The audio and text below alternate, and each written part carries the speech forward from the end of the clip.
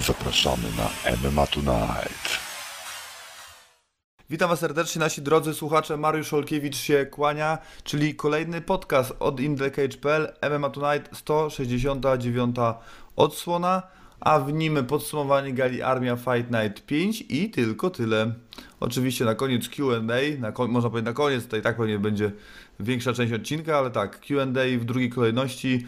Pytania odpowiedzi z grupy MMA Polska i Świat oraz naszego kanału na YouTube, z naszej społeczności na YouTube. No, y, w sumie chyba jest się z czego cieszyć, y, bo nasze kanały na YouTube i na Facebooku rosną bardzo, bardzo szybko, ale właśnie dzisiaj kanał YouTube, czy wczoraj, przeskoczył nasz y, kanał, czyli nasze media społecznościowe na Facebooku, nasz fanpage, także y, około 400, niecałe 400, 400 osób, także jest nam bardzo miło. Czekamy, bo lada moment, pewnie jutro będzie 25 tysięcy subskrybentów, także już z tego miejsca dziękuję Wam bardzo e, w imieniu całej redakcji. E, No w tym podsumowaniu gali Armia Fight Night 5 i w pytaniach i odpowiedziach, jak już pewnie się domyślacie, wiecie, pomoże mi tym razem nie Michał Malinowski, a Martyna Celuch. Witamy serdecznie. Dzień dobry.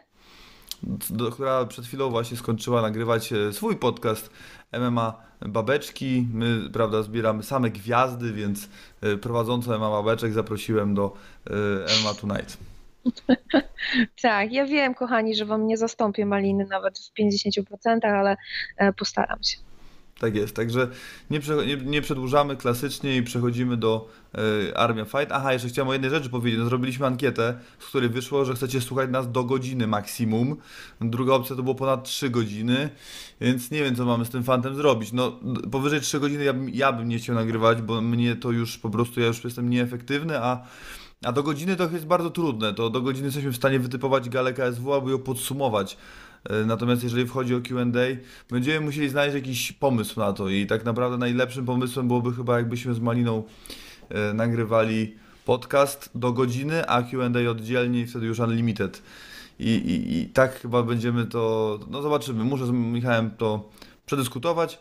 E, Także zapraszamy do komentowania i jeszcze możecie przeważyć na grupie Ma Polska Świat w tej ankiecie liczbę głosów w tę czy tamtą stronę. Armia Fight Night 5, Łomża, byłem na miejscu, szczerze powiem, że pierwszy raz byłem sam na gali i sam musiałem zająć się robieniem wywiadów, łapaniem zawodników na te wywiady oraz składaniem tych wywiadów i wrzucaniem tych wywiadów później na stronę co poskutkowało, że położyłem się około trzeciej w nocy, abyście wy, wy mogli już te wywiady sobie od rana na spokojnie oglądać, także przykro, że tak mało mediów było branżowych na tej gali. Zupełnie jest to dla mnie niezrozumiałe, ponieważ no, żadne, nie kolidowało to z żadną inną galą, a nawet UFC nie było w nocy. Yy, No ale cóż, My byliśmy, zrobiliśmy dla Was sporo wywiadów. Yy, Z tego co widzieliśmy, Michał Szczerbaty, czy wywiad z Michałem Szczerbatym chyba podobał mi się najbardziej. Tam jest prawie chyba 9 tysięcy odsłon już. Yy, Także cieszy, cieszy też to. Ale to nie wszystko. Jutro wywiad z Maćkiem Kalicińskim, który, Kalicińskim, który tam nagraliśmy. Jutro również wywiad z Bartkiem Fabińskim, czy dzisiaj w zasadzie, bo nie wiem kiedy tego będziecie słuchać, więc w środę również wywiad z Bartkiem Fabińskim, w którym yy, nawet chyba większą część poświęciliśmy na podsumowanie Armii Fight Night ze względu na to, że walczyło tam jego y, pięciu klubowych, y, pięciu klubowych kolegów. Nawet teraz sobie przypomniałem, że o Mansurze Ażijewie nie porozmawialiśmy, y, jak tak teraz patrzę na grafikę, także trzeba będzie to jeszcze przy najbliższej okazji nadrobić. Przechodzimy do Armii Fight Night y, 5 i zaczynamy od od karty wstępnej tak naprawdę. W karcie były jeszcze karta przedwstępna i były walki pro-am, to było wszystko poza anteną. Mm, Z takich ciekawych to chyba Piotr Arnista pokonał Tomasza Kobierskiego przez knockout w pierwszej rundzie. To było mm, ciekawe. Kasper Capała pokonał Patryka Wieryszko poddaniem za pleców w drugiej rundzie. Yy, Szama Terzan Nukajew pokonał jednogłośną decyzją Sebastiana Decowskiego. Yy, I to chyba z tych najciekawszych, najciekawszych tyle. Przechodzimy do karty wstępnej. No i właśnie, wspomniałem wcześniej, Michał Szczerbaty został pokonany przez Sławka Rawińskiego przez techniczny knockout po ciosach yy, w parterze w rundzie drugiej. No tak naprawdę była to walka bardzo trudna dla obu zawodników, no bo łącznie obaj stoczyli jedną walkę przed tym pojedynkiem. Sławek Rawiński e, ma na koncie jedno, jedną porażkę i teraz udało mu się ten rekord, e, rekord wyrównać. No, Michał Szczerbaty przygotował się 3 miesiące do tego pojedynku, jest to bardzo młody chłopak, nie wiem, 20 chyba 1 lat w ogóle, czy więc jeszcze kariera przejdzie, natomiast no umówmy się, że tlenu panom brakowało w tej, w tej drugiej rundzie już po pierwszej mocnej.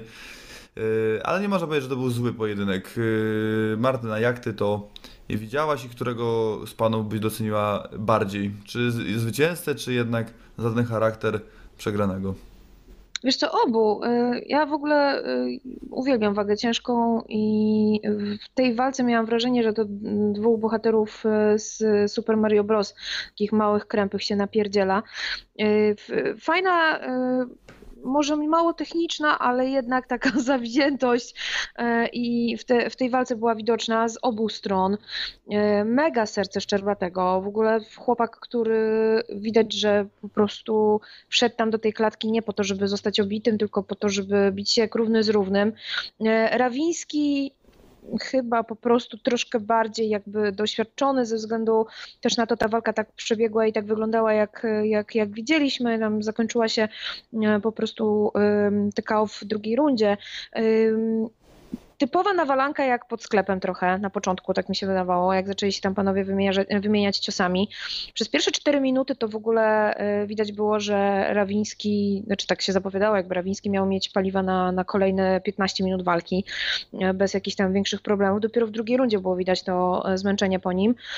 Czemu mówię dopiero? No bo jednak w przypadku wagi ciężkiej to jeszcze zawodników, którzy tak naprawdę nie mają ze sobą iluś tam walk stoczonych, nie są tacy obici w klatce, to, to też nie, nie wiedzą, jak tak naprawdę rozkładać te siły i, i widać po nich to od razu, że gdzieś tam na samym początku trochę się wypompowują. E, Szczerbaty, mega serducho. Zabrakło tego sznytu, tego mm, takiego wykończenia, tak? Czyli ym, ta głowa nie pracowała chyba tak do końca y, prawidłowo, ale po tylu ciosach, co zabrał od Rawińskiego, to wcale się nie dziwię. Y, Mnie się tą walkę dobrze oglądało. E, Tak jak powiedziałam, może nie bardzo techniczna, ale zawziętość ze strony obu zawodników i ta chęć skończenia walki przed czasem była widoczna. Ja to uwielbiam, więc e, walka dla mnie jak najbardziej na plus i dobre rozpoczęcie karty wstępnej. Norbert Daszkiewicz w swoim debiucie MMA pokonał Kamila Gorala przez poddanie trójkątem rękoma w rundzie pierwszej. No i trzeba przyznać, że podobnie jak jego e, kolega po fachu, czyli Damian Janikowski, naprawdę wszedł z przytupem mm, w, do, do MMA. E, Co prawda na trochę mniej eksponowanej gali niż gala na Stadionie Narodowym, ale jednak trzeba mu oddać, że e, parę, parę czy jednego chyba supleca zaprezentował bardzo efektownego. E, Chciał, e, chciał znokautować, taki był plan i widać było, że taki był plan, ale jak się nadarzyła okazja, no to czemu z niej nie skorzystać? E, Skorzystał z niej i naprawdę nie było w tym większego problemu. No oczywiście w, w tym dosiadzie za długo próbował tego trój- trójkąta, no wiadomo, że aby ten trójkąt dopiąć, no to trzeba e, pójść, w, nie wiem, można tak to nazwać, w przeciw, w drugą stronę niż jest zapinana ręka. E, No jak to uczynił, no to potrwało to tak naprawdę chwilę i Kamil Goro odklepał, e, odklepał pojedynek i, i, i zaliczył porażkę, natomiast Norbert Daszkiewicz wybitny e, debiut. Co ty byś jeszcze dodała na temat tej walki? No i na, na, na jakie kolejne wyzwania czekasz w przypadku Daszkiewicza? No to była walka w catchweightie do 73 kg. E, więc co, z kim, co dalej, no bo pewnie e, Armia Fight Night jeszcze go e, przytrzyma, no ale jak tak dalej będzie szło, no to kto wie, co się dalej z Norbertem wydarzy. Ja to może przede wszystkim chciałabym zacząć od tego, żeby już tak nie hypować Norberta i tam powiedzmy nie nazywać go drugim Janikowskim i tak dalej, i tak dalej. Oczywiście rozumiem, że chodzi o sport bazowy dla, dla Norberta, więc fajnie. Ładnie się zaprezentował. Y, Rozsądnie walczył. Fakt, miał jakiś tam swój plan wymyślony i chciał ten plan zrealizować. Jak zobaczył, że nie wyjdzie, no to, to po prostu mm, podążył do poddania. Y, Walka skończyła się za szybko, żeby móc coś wyrokować, ale powiem Ci, z kim bym go chciała zobaczyć. Chciałabym go zobaczyć y, z osobą, o której będziemy za chwilę mówić, czyli z Maciejem Kieszkowskim. A jak będą walczyć w 70, to dlaczego nie? mało prawdopodobne z racji tego samego klubu chyba. Chłopaki są z tego samego klubu, tak? Tak, no Maciej Kieszkowski łączy starty, ale no dużą część spędza, szczególnie sparingi w WCA. Uuu. Znaczy łączy dwa kluby, jakby to miałem na myśli i no, sparuje w WCA. No dobra, no to moje chcieństwo może się tutaj zupełnie nie spełnić, natomiast ja bym chciała. ja bym chciała, bo e, na zasadzie konfrontacji po prostu. No może sparują razem, trenują, ale może się nie lubią, kto wie. Wydaje mi się, że w WCA jest tak fajna atmosfera, że tam chyba ciężko, żeby ktoś się z kimś nie lubił, także może, może być problem. E... Za dużo tam siedzisz. Coś wiesz, co, co, co wiesz, gadaj. Nie mogę mówić, bo są więksi wszyscy ode mnie i lepsi przede wszystkim. Ja tam Hmm. mógłbym najwyżej z Krzyśkiem Gutowskim, to też by się źle na mnie skończyło. Nie, no ty nie mów, że z Krzyśkiem Gutowskim byś mógł, bo on już, już ci się raz odgrażał, więc Jak wiesz. miałbym kogoś technika, wybrać, jak technika. musiałbym kogoś wybrać do sparingu, to bym wybrał jego. Technika robi swoje, także nie ma co ten, nie ma co, co wiesz, tam sobie obiecywać jakieś rzeczy. najwyżej bym, najwyżej bym mnie poddał, ale przynajmniej mi mordy nie rozkwasił, tak jak y, taki, nie wiem, Daniel Omilańczuk czy y, Janek Błachowicz, więc jakby, Mhm. Jakby z, jak już mam wybrać najmniejsze zło, to jest być może Krzysztof Gutowski, bo, chociaż nie, nie. Mały awariat. Y, nie wiem, jak, no w sumie przynależność Sylwestra Millera, nie wiem, czy jest, a to żebym Sylwka chyba wybrał. Bym go na dystans trzymał nogą może wyprostowaną. Nie no, daj spokój. Sylwek jest tak wkurzony po wyniku y, ostatniej walki swojej, że jeszcze mógłby ci krzywdę zrobić, jak tak się wiesz, wkurza, adrenalina zagra, to lepiej, lepiej nie ryzykuj. Nie, ja, tam, ja tam do się do klatki nie wchodzę, nawet tak tam na wywiady wchodzę, to się boję, bo się cała trzęsie. Klatka, jak tam się sparują, także. No dobrze, ale to z kim ty byś w takim razie Norberta zobaczył? Z kim ty byś Robert, Norberta zobaczył? Za dużo jest z pewnością zawodników w tej kategorii wagowej, aby kogoś teraz na szybko do niego e, dokoptować. No ja bym. mm, No ja bym go, no nie wiem, no ja bym go rzucił od razu na głę- głęboką wodę. Ja po prostu, jeżeli jest do, udany debiut, to ja bym, to ja bardzo lubię e, wtedy, nie wiem, nie tyle, że weryfikować, no ale lubię sprawdzać, gdzie jest ten e, punkt. No bo jak będzie mi Daszkiewicz wygrywał tak jak Szymon Kołecki, ale no ci rywale nie będą stanowili większego oporu, no to ten, Szymon, ten Michał Bobrowski był w momencie, w dobrym momencie, ale mógł być wcześniej na przykład. I Wydaje mi się, wolałbym tą weryfikację zobaczyć szybciej na przykład. I, i tak jak na przykład u Damiana Janikowskiego Antek już był weryfikacją. I uda, zdany test był, e, później wyśrubowany rekord o 3-0, no Michał, e, a Michał to już były za wysokie progi, ale fajnie dowiedzieć się w którym miejscu się jest, no dlatego, no ja bym dał Maćka Kalicińskiego, ale no jest duża szansa, że Norbert nie byłby faworytem w tym pojedynku, e, ale taki pojedynek bym widział, no. Ja. Mm. No Jakby no wiadomo, że to nie wiem, czy dla Maćka e, duża szansa na wypromowanie się, czy na jakiś taki wyzwanie, no ale no bo wiele, wiele tak naprawdę nie wiemy jeszcze o Norbercie, no ale myślę, że taki pojedynek mógłby być interesujący. No, Pojedynek z dobrym zapasiorem zawsze jest dobrym pomysłem, tak naprawdę dla zawodników, którzy chcą coś więcej znaczyć w MMA, więc czemu nie? Tak jest, więc przechodzimy do no właśnie do Maćka Kiszkowskiego już e, wspomnianego, który pokonał Cotne Darcia przez KO i to KO będzie KO roku prawdopodobnie. Na pewno nominacja jest pewna jak potępienie. Tutaj nie mam, nie, nie wiem, nie widzę e, pola do popisu. Biorąc pod uwagę, że Rafał Kijanczuk zamierza zwolnić swoją karierę, e, mam tu na myśli obniżyć tempo walk, to być może nie zdąży zapchać całej kategorii swoimi nokautami i, i w tym wypadku tutaj Maciej Kieszkowski ma naprawdę dużo do powiedzenia. No nie no, trafia gościa, on się odwraca i składa się jak pudełko, po prostu jak pudełko zapałek. No to było niewiarygodne. Więc y, 70 kg, a naprawdę młot y, czy kowadło w łapie jest. No, zgadzam się. W ogóle to jego KO zrobiło sporo szumu na Twitterze. Osoby, które się interesują i które śledzą bardziej Twittera branżowego, na pewno słyszały o tej małej aferce, która wyszła, czy małej, dużej aferce, bo poszło w cały świat. Kapoza, czyli Grabaka Hitman, to jest gość, który ogląda wszystkie randomowe gale, nie tylko oczywiście, i wstawia mnóstwo gifów e, z fajnymi skończeniami, wyłapuje jakieś takie smaczki, o których nie mielibyśmy pojęcia, gdyby właśnie nie on. Nie wiem, podejrzewam, że to jest pięciu gości, bo jak Boga kocham, jeden nie jest w stanie po prostu tyle rzeczy oglądać, jednocześnie rejestrować, analizować, dyskutować na Twitterze itd., itd. E, I gość właśnie za wstawienie e, screenshotów z e, tej gali, między innymi za wstawienie screenshota z oświadczeń Surdyna oraz za wstawienie właśnie krótkiego gifa z tym knockoutem e, w wykonaniu Macieja Kieszkowskiego, dostał bana od Twittera, zostało mu zabrane konto. W ogóle to już po raz drugi, bo za pierwszym razem się naraził braciom Fertita, więc No, tam też, też była jakaś scysja. No i, i tak naprawdę napisał, chwilę później założył kolejne konto i napisał, że utracił swoje konto pierwotne za, za sprawą Polsatu Sport, który zgłosił skargę do, do Twittera za wykorzystanie materiałów, które do niego nie należą. E, no i mam nadzieję taką głęboką, że się ta, tą sprawę da odkręcić. Wiem, że organizator gali, Filip Wątkowski, coś tam działa już e, w tym kierunku, miał rozmawiać z, z Polsatem. Wiem od e, Kapozy również, bo korespondujemy, że dostał jakiegoś maila, który no, daje mu jakąś nadzieję na odzyskanie tamtego konta. Tam były, nie wiem, czy może nie setki tysiąc, tysięcy, ale, ale kilkadziesiąt tysięcy followersów e, z całego świata. W momencie, kiedy się okazało, że został zbanowany przez Twitter, to dziennikarze pokroju Breta Okamoto, Ariela Helvaniego i, i iluś tam różnych innych jeszcze e, wszyscy, wszyscy się mm, po prostu na Twitterze ruszyli i, i, i wzywali Twitter do tego, żeby oddać mu to konto. Ale dobra, to jakby taka abstrahując tak, od sprawy, bo ja lubię. E, Maciej Kieszkowski tym nokautem się wsławił dzięki właśnie Kapozie tak naprawdę na całym świecie. E, jego tweet z tym, z tym nokautem miał kilkadziesiąt tysięcy reakcji, podań dalej i tak dalej, i tak dalej, więc naprawdę Kieszkowski mimo trudnego nazwiska był na ustach całego świata dzięki Kapozie. E, I myślę, że to poszło gdzieś tam rzeczywiście dalej.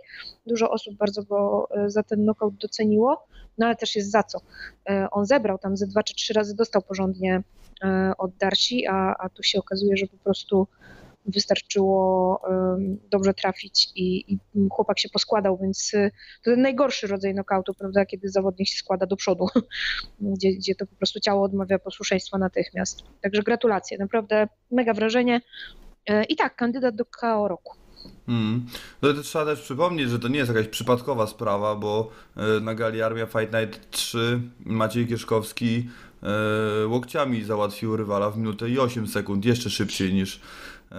w tym pojedynku. No mówmy się, no jakby rywale, jakby Alech, Alech Biruk i Sotny Darcia, no to nie są jakieś tam niewiarygodne koty, jak to się mówi, więc tutaj też nie róbmy jakiegoś tam nie wiadomo czego. E, bo no jednak Krystian Błezień na przykład pokonał e, po, e, w pierwsza runda, tam było przerwanie chyba lekarz, nie pamiętam dokładnie, na Thunder Strike Fight League na TFL-u Krystian Blezień z rekordem 2-1 wtedy chyba 1-0 mhm. czy wtedy 2-1 właśnie pokonał. Także no jest to mega knockout, natomiast no to jest zawodnik, który się dopiero rozwija, natomiast rozwija się bardzo dobrze, bardzo szybko i bardzo fajnie, więc no trzeba na niego zwrócić uwagę, ale nie mam, nie, nie chcę i nie zamierzam w tym momencie, na tym etapie jego kariery szukać mu jakichś tam niewiarygodnych nazwisk, ściągać nie wiadomo kogo. Po prostu jest masa zawodników, e, może rewanż za tą porażkę w pierwszy, w debiucie.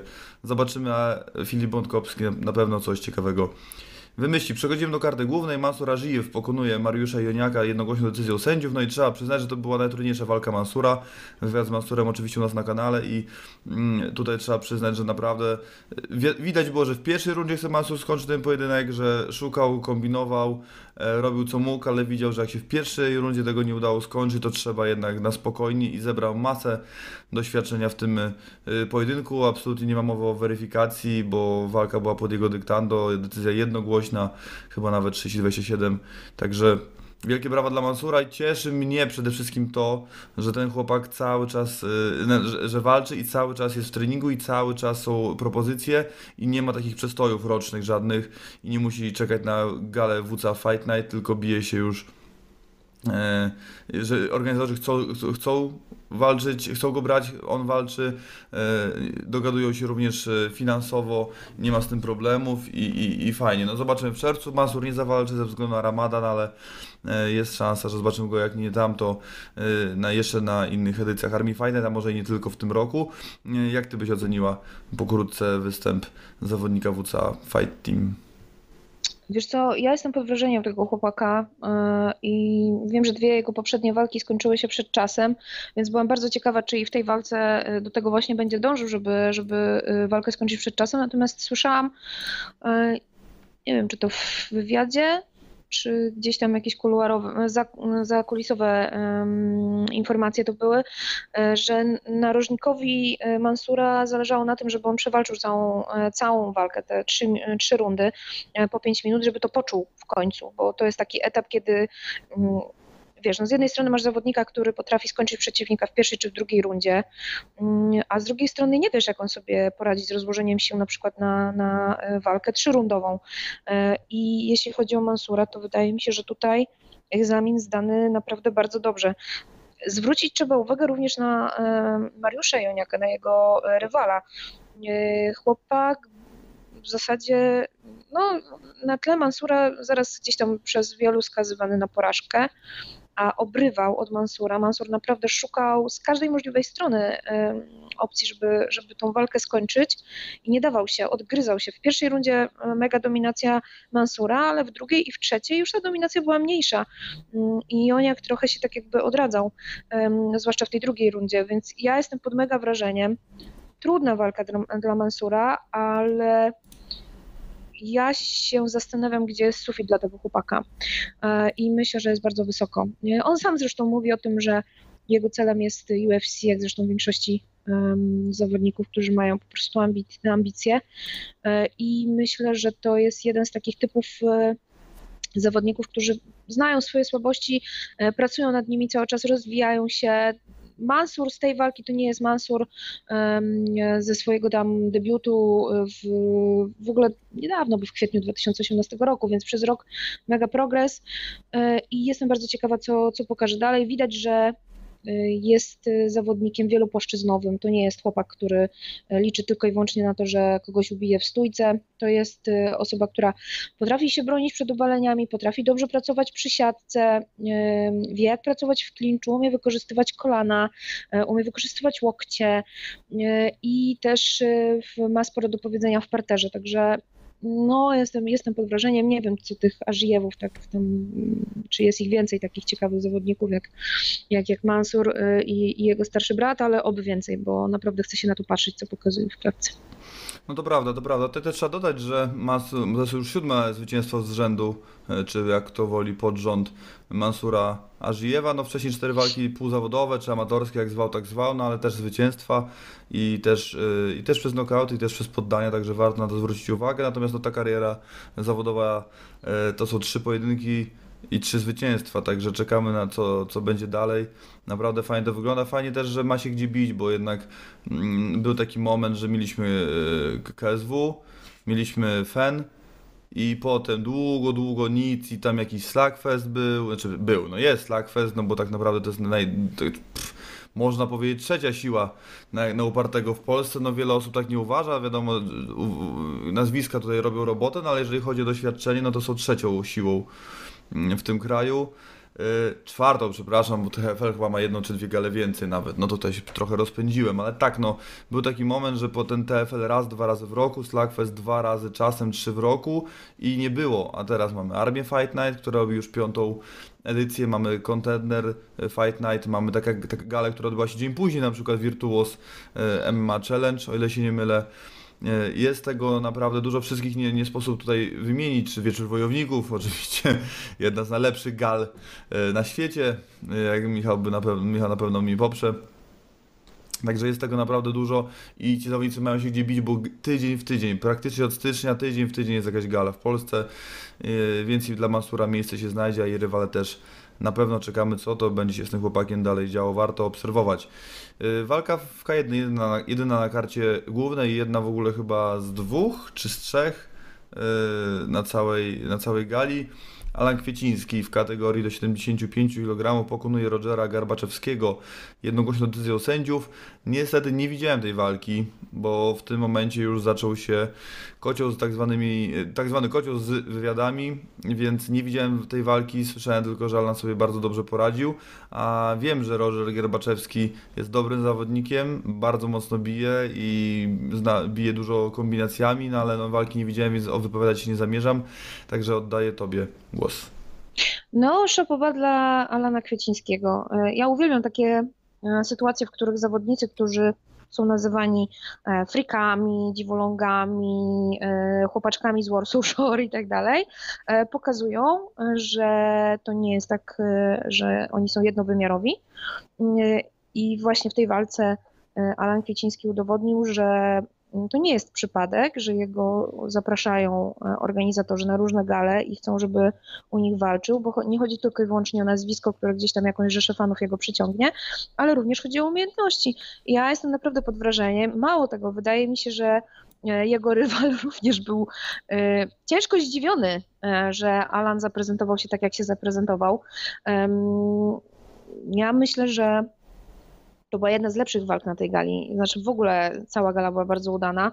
E, natomiast Alan e, szedł paru, paru do przodu, nie ustępował miejsca ani na chwilę. Świetnie pracował głową. Tam oczywiście co chwila było rozerwanie klinczu i, i co chwila gdzieś tam e, sędzia wkraczał do akcji, ale wydaje mi się, że z każdą minutą tego pojedynku Roger, Roger Garbaczewski był coraz bardziej zdziwiony. Owszem, y, po jakimś tam czasie zaczął odzyskiwać jakąś tam pewność siebie y, Garbaczewski i, i w, odpowiadać y, Alanowi na takim poziomie, na jakim powinien, ale to pierwsze zdziwienie z pierwszej rundy jest absolutnie po prostu widoczne nawet na wyraz twarzy Rogera robi po prostu, robi, robi mega wrażenie co było fajne? Było fajne to, że Alan nie wyprowadzał bez sensu ciosów. Raczej tych ciosów nie było wiele, nie pruły powietrza, były celne, były zamierzone, były przemyślane mega mądrze poprowadzona walka. Dla Garbaczewskiego to jest w ogóle druga porażka w Armia Fight Night, jeśli ja się nie mylę. Jest, ma w tej chwili 1-2 rekord e, dla, dla armii, a jest e, zawodnikiem naprawdę e, bardzo wysokiego poziomu i tutaj trzeba oddać szacunek Alanowi, że nie tylko potrafił się przeciwstawić mega utytułowanemu rywalowi, ale jeszcze w dodatku tego rywala pokonać i to przez jednogłośną decyzję sędziów, a jak wiemy w K1 to nie jest tak hop Bardzo często zdarzają się mm, decyzje niejednogłośne, większościowe itd., tak itd. Tak Tutaj e, sytuacja była prosta. Podobało mi się też to, co Alan powiedział po walce, przypomniał po prostu ludziom, że to, co robi e, w ringu czy w klatce, bo Alan też walczy w MMA, to jest jedno i to jest jego sportowy tryb życia, a to, że jest młody i chce się czasami bawić i że tą zabawę zaprezentował przed kamerami, a nie tak jak inni gdzieś tam po prostu poza kamerami, to jest zupełnie inna bajka. Więc ja mam taką prośbę, mm, jeżeli uważacie Alana Kwiecińskiego za E, frika, za osobę, która, której miejsce nie jest w klatce czy, czy w ringu. Obejrzyjcie sobie tą jego walkę z Garbaczewskim tak na spokojnie, bez emocji e, i myślę, że wielu z Was zmieni zdanie, bo tylko krowa zdania nie zmienia. No tak, tutaj trzeba oddać, że e, no, Alan nie był faworytem w tym pojedynku z pewnością. No nie. Garbaczewski miał 1-1 w armii przed tą walką, a 2-1 w ogóle. No więc mhm. teraz ten jego rekord w K1 się wyrówna do 2-2 za sprawą właśnie Alana, Alana Kwiecińskiego. No u Alana sytuacja jest, wygląda całkiem nieźle, bo w ostatnich pięciu walkach to są trzy zwycięstwa, dwa w kickboxingu, jedno w MMA. Jeden remis i tylko jedna porażka, ale to z kim? Z Adrianem Głoszyńskim, no, który jest dzisiaj mm. twarzą na plakacie Babylon MMA 8. Także to. Mhm. Zresztą, no, co tu dużo mówić, knockout w 12 sekund na DFE nie mówi wszystko. No, ja zdaję sobie sprawę, że Grzegorz Białas ma rekord 8.15, a ta noga sama się nie unosi. I to tak nie działa, więc y, wszystkich tutaj też nie robimy z Alana Kwiecińskiego Radka Paczowskiego przecież, tak? Natomiast nie, no oczywiście. Da, trzeba dać mu szansę. Bije się, wnosi, poziom, wnosi marketing, medialność, wnosi też poziom sportowy. To nie jest tak, że tego poziomu sportowego, sportowego nie ma. Przechodzimy w takim razie dalej. Kamil Dołgowski pokonuje Karola Skrzypka jednogłośną decyzją sędziów w walce w kategorii półśredniej no co tu dużo mówić, no to nie był dzień Karola Skrzypka. To nie był dzień Karola Skrzypka. E, nie wiem, czy jedna, czy nawet dwie rundy da się tam wypunktować do ośmiu. Mm, natomiast to, to, co trzeba mu oddać, to o czym też rozmawiałem wczoraj z Bartkiem Fabińskim, to jest charakter i serce do walki. To było niewiarygodne, że on z trzech duszeń za plecy się wykaraskał w pierwszej rundzie i w drugiej rundzie chyba z jednego duszenia z jednej balachy. Jest wielkie brawa. To za, za to naprawdę, bo to charakter, umiejętności można podciągnąć, ale serca i charakteru nie da się wytrenować.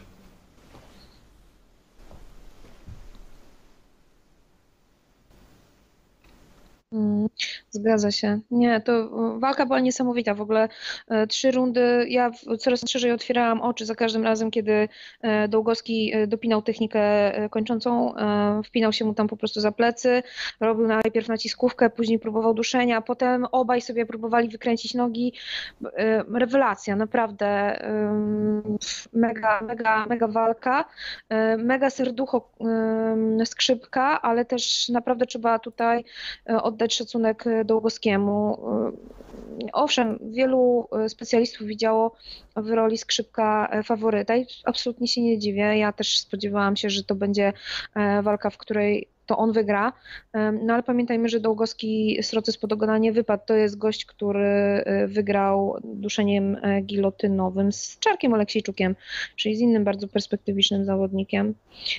I to całkiem niedawno, bo na, na TFL-u 15. Także To jest chłopak, na którego warto zwrócić uwagę, którego trzeba obserwować yy, i, i, i myślę, że yy, znaczy myślę, że obu tak naprawdę trzeba obserwować, bo wiecie, trzeba pamiętać o tym, że jedna porażka Karola Skrzypka nie, przecież nie, nie przekreśla go, tak? E, Natomiast tu ewidentnie Długowski pokazał mm, więcej umiejętności, e, więcej jakiegoś takiego szukam odpowiedniego określenia, bo to nawet nie chodzi mi o oktagonowe IQ, e, ale chyba jakiegoś takiego, e, takiego rozsądku, przemyślenia bardziej, podejścia do, do, do walki w taki bardziej po prostu rozsądny sposób. Zimnej głowy. E, O, zimnej głowy, dokładnie tak, dokładnie tak. I także no super, w ogóle jeżeli macie okazję obejrzeć sobie gdzieś tam powtórkę, skróty tej walki, czy cokolwiek, to, to, to polecam, bo naprawdę mega, mega się to oglądało i, i, i to była świetna, świetna walka. Mm. No to prawda, to prawda, naprawdę, y, to prawda i naprawdę chcę dalej oglądać obu panów. Y, Szczerze mówiąc, no nie wiem, pomysł na walkę od Zimkowski-Dołgowski nie jest głupi, choć pewnie bliżej mi było do starcia y, wyżej, czyli w sensie wyżej, no tak domniemam, że wyżej, czyli Jakubiec od Zimkowski. Którego z tych, no bo wiem, że Albert wraca, gala w Radomiu, którego ty z tych panów byś zestawiła? No wiemy, że Jakubiec będzie walczył na gali w Radomiu, bo na tym nie dał rady wystąpić. Albert też tam będzie walczył. Czy ty byś tych panów zestawiła, czy jednak e, dała szansę Dołgowskiemu na e, pokonanie jednego czy dru- drugiego, bardziej e, medialnego nazwiska? Jakubiec Dołgowski, jestem na tak. W jakimkolwiek innym zestawieniu, w sensie z udziałem Alberta, jestem na nie. Dla Alberta chcę kogoś z większym rekordem. Nawet jeśli miałby to być ktoś z zagranicy. Y, Nie ma co oszczędzać Alberta. Dwa i pół roku się opierdzielał. Od razu go na głęboką wodę i tyle. Y, Zasłużył. Zasłużył na to, żeby, żeby dać mu mm, silnego, mocnego rywala i, i mam nadzieję, że Albert po prostu pokaże, y, że jest jednym z czołowych zawodników w kategorii 7-7. Y, Myślę, że pobicie zawodnika z mniejszym rekordem, mm, tak jak chociażby Długowski, zwycięstwo tak- nad, nad, nad Długowskim, to na tym etapie y, dla, dla Alberta raczej Chociaż nie, no kurde, chciałam powiedzieć, że bezpieczna walka, ale po tym, co pokazał Długowski ze skrzypkiem, to chyba nie, nie ma. W MMA nie ma czegoś takiego jak bezpieczna walka, chyba po prostu. Nie, nie, zdecydowanie mm, widzę Jakubiec Dołgowski, ym, nie widzę Alberta z Dołgowskim czy, czy z Jakubcem. Ja bym chciała dla Alberta po prostu kogoś nawet spoza organizacji. Mhm. No ja tam najchętniej zobaczył, że jak mam być taki super szczery, to Alberta od Zimkowskiego z Krzyśkiem Kułakiem. Natomiast y, z tego co mi wiadomo nieoficjalnie wymagania Krzysztofa Kułaka są chyba nieakceptowalne przez armię Fight Night. Przynajmniej tak kiedyś było. Nie wiem, czy coś się przez parę miesięcy zmieniło. Y, Nie wiem też, czy Krzysiek nie jest y, po prostu dalej związany z fanem, więc jakby chyba nie ma co gdybać na jego temat. Chociaż no czort wie. Trzeba się zapytać y, prezesa Jóźwiaka, jak to wygląda. Tak jest. Coleman Event. Dominik Miel pokonuje Jacka Bednoża przez poddanie duszeniem za pleców w rundzie trzeciej. No, panowie mieli historię w, w Army Fight Night. No, nie chcę tam od razu mówić, że byli kierowani na bohaterów, no ale to nie były ich pierwsze walki dla organizacji. E, Skrzyżowanie rękawic było pewnie gdzieś tam e, nieuniknione, no lepiej wypadł w tym e, pojedynku Dominik Miel dusząc Jacka Bednoża i wygrywając kolejny e, pojedynek dla armii Jak tobie się podobał występ Chmiela, albo jak się podobał występ Bednoża? Y, jestem bardzo zaskoczona y, tym, jak ta walka przebiegła. To znaczy, może nie tyle zwycięstwem Dominika Chmiela, tylko tym, y, jak pracował w klatce Jacek Bednosz. Ewidentnie nie był to jego dzień. Mm, dużo więcej się spodziewałam po, po tym zawodniku. Dał się totalnie zdominować Chmielowi. Nie wiem, z czego to wynikało. Nie, nie wydaje mi się, że były jakieś braki w przygotowaniach, nie wiem, czy kondycyjne przygotowanie, czy, czy cokolwiek innego zawiodło. Może po prostu Dominik Chmiel jest lepszy, no i, i tyle, i nie ma się czego tutaj doszukiwać. E, bardzo dobra praca e, w klatce Chmiela. E, widać, że mm, te umiejętności jego parterowe są naprawdę świetne. E, ja tak naprawdę czekałam, e, że, że na to, że Dominikowi uda się poddać Jacka już w drugiej rundzie, więc tak naprawdę tylko ta trzecia runda potwierdziła to, że, że, że do, do, do tego to wszystko zmierza. Jestem pod mega wrażeniem, bardzo mi się ta walka podobała. No to tyle, co hmm. mogę powiedzieć. No Jacek Bednosz y, radził sobie na armii bardzo dobrze, no bo wygrał na pierwszej, wygrał na drugiej, wygrał na trzeciej edycji. Y, no ale ten rekord nie był y, genialny, no bo tam gdzieś nie, wybier- nie było też łatwej drogi, no bo trzeba pamiętać, że Jacek Bednosz ma rekord w tym momencie 5-5, no ale tam są takie nazwiska jak Marcin Krakowiak, Grzegorz Sanecki, Maciej Roszkowski, Filip Tomczak, także znane nazwiska mhm. osób, które interesują się MMA. Także Porażka z Dominikiem Chmielem nie, przy, nie przynosi mu ujmy na pewno, no ale wyrównuje rekord. Wyrównuje rekord i teraz yy, przed kolejnym pojedynkiem będzie lekka presja. Armia Fight na pewno nie zrezygnuje z tego zawodnika, no bo w ich organizacji ma 3-1, yy, także to jest y, pewne. Nie będę się mądrzył co do tego pojedynku, mogę porozmawiać tylko o tym, co się działo, co się działo, coś co może dziać się po tym pojedynku i z jednym i z drugim panem, ponieważ to jest kolejna walka, której nie widziałem nawet ułamka sekundy, także nie będę wciskał y, kitu, że była ekscytująca, natomiast y, wynik znam. Wywiad z Dominikiem Chmielem też możecie obejrzeć u nas na kanale. No i przechodzimy do walki y, wieczoru w kategorii do 61 kg. Patryk Surdyn pod bacznym okiem Wojsława Rysiewskiego pokonał Sylwestra Millera przez techniczny knockout w rundzie pierwszej. No to od razu nie ma, nie będziemy, nie ma co, no przechodzimy do kontrowersji e, w tym pojedynku, które tak naprawdę były, były na hali, a jak się okazuje, nam się wszystkim wydawało, że tam już pewnie na Twitterze i nie tylko to trwa jakaś wojna, a się okazało, że nikt nawet gifa nie zrobił z tego skończenia. No i tutaj e, pytanie do Ciebie, bo Ty oglądałeś to przed telewizorem, także jak ty widziałeś ten pojedynek? No ja się wypowiem, ja już jakby powtórzę to, co mówiłem dwukrotnie, ale y, może nie, nie, nie, wszyscy widzieli wywiad z, z Sylwkiem Millerem, a już na pewno nikt nie widział jeszcze wywiadu z Bartkiem Fabińskim, więc y, też powiem parę zdań w tym temacie. Przy całej mojej sympatii do Sylwka Millera y, uważam, że nie ma powodu, żeby mieć pretensje do Piotrka Michalaka za przerwanie tej walki. Nie wydaje mi się, żeby było tak, jak Sylwek mówił, że szedł po nogę. E, dlatego że pod nim się po prostu ugięły kolana. I tam od samego początku, od pierwszej sekundy walki, e, ciosy ze strony Patryka Surdyna wchodziły czysto. Ja nie wiem, czy ty zwróciłeś uwagę na to, jak e, Surdyn pracował e, boksersko, ale on uderzał pod takimi kątami, jak robił to w pierwszej rundzie walki z Normanem Parkiem e, Borys Mańkowski. A więc to były uderzenia z góry, powiedzmy prawą ręką i poprawka z, z takiego dziwnego kąta lewą ręką, tak? I po prostu i odwrotnie też. I kombinacje wchodziły. Proste, czyste kombinacje i to wszystko wchodziło na głowę Sylwka. Sylwek to zbierał. Okej, okay, odgryzał się, nie powiem, że się nie odgryzał, ale sygnałem pierwszym, że nie jest dobrze, było to, że momentalnie poszedł po wciśnięcie Surdyna w siatkę, e, ale jak się okazało, Patryk Surdyn pod, e, po, pod siatką radzi sobie równie dobrze. E, I po kilku mocniejszych ciosach, które władował po prostu takich no, podbródkowych, bo tak to wyglądało przynajmniej z, tych, z tego ujęcia kamery, e, po kilku takich ciosach Surdyn usunął się na ziemię. Te nogi mu się złożyły do środka, Miller. kolana, do, przepraszam, Miller, Zło, złożył się po prostu, złożyły mu się nogi do, do, do środka, kolana się gdzieś tam praktycznie spotkały i on nie szedł po obalenie. On po prostu leciał, bo nie kontrolował własnego ciała. E, więc moim zdaniem moim zdaniem, w mojej ocenie, z tego punktu, jak pokazywała kamera, e, tam nie było żadnej kontrowersji. I od pierwszego momentu, jak tylko zobaczyłam e, to, to przerwanie, nie uważam, że tam była jakakolwiek kontrowersja. I to jest tyle.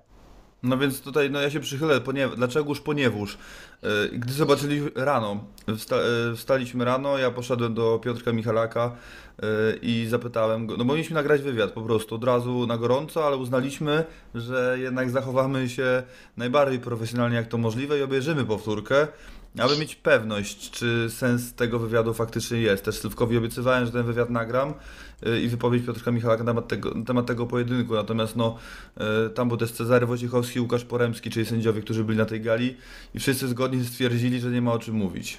Znaczy wszyscy, my stwierdziliśmy. Ja jakby chyba, ja obejrzałem chyba pierwszy i potem poszedłem zaprezentować e, powtórkę chłopakom. E, no i nie ma, nie ma jakby... Moim zdaniem nie ma pola do popisu. Nie chodzi o to, że Sylwek nie szedł po nogę, bo tego nie wiemy, to wie tylko Sylwek. Tylko i to nie jest tak, że mówi wie, że nie wie, to nie dochodzi, w ogóle to nie ma znaczenia. W takiej pozycji, w jakiej był Piotr Michalak, to co zobaczył swoimi oczami, na bazie doświadczenia, jakie ma, miał absolutne prawo podjąć taką decyzję, jaką podjął. Po prostu akcja, którą wykonał Sylwek spowodowała, że sędzia Michalak mógł przerwać ten pojedynek. A jak dodamy do tego 13 ciosów, które y, Sylwek zainkasował, które były zadane, no nie wiadomo ile weszło czysto i które z jaką mocą, natomiast to było około 13-11 ciosów i dwa młotki, zdaje się.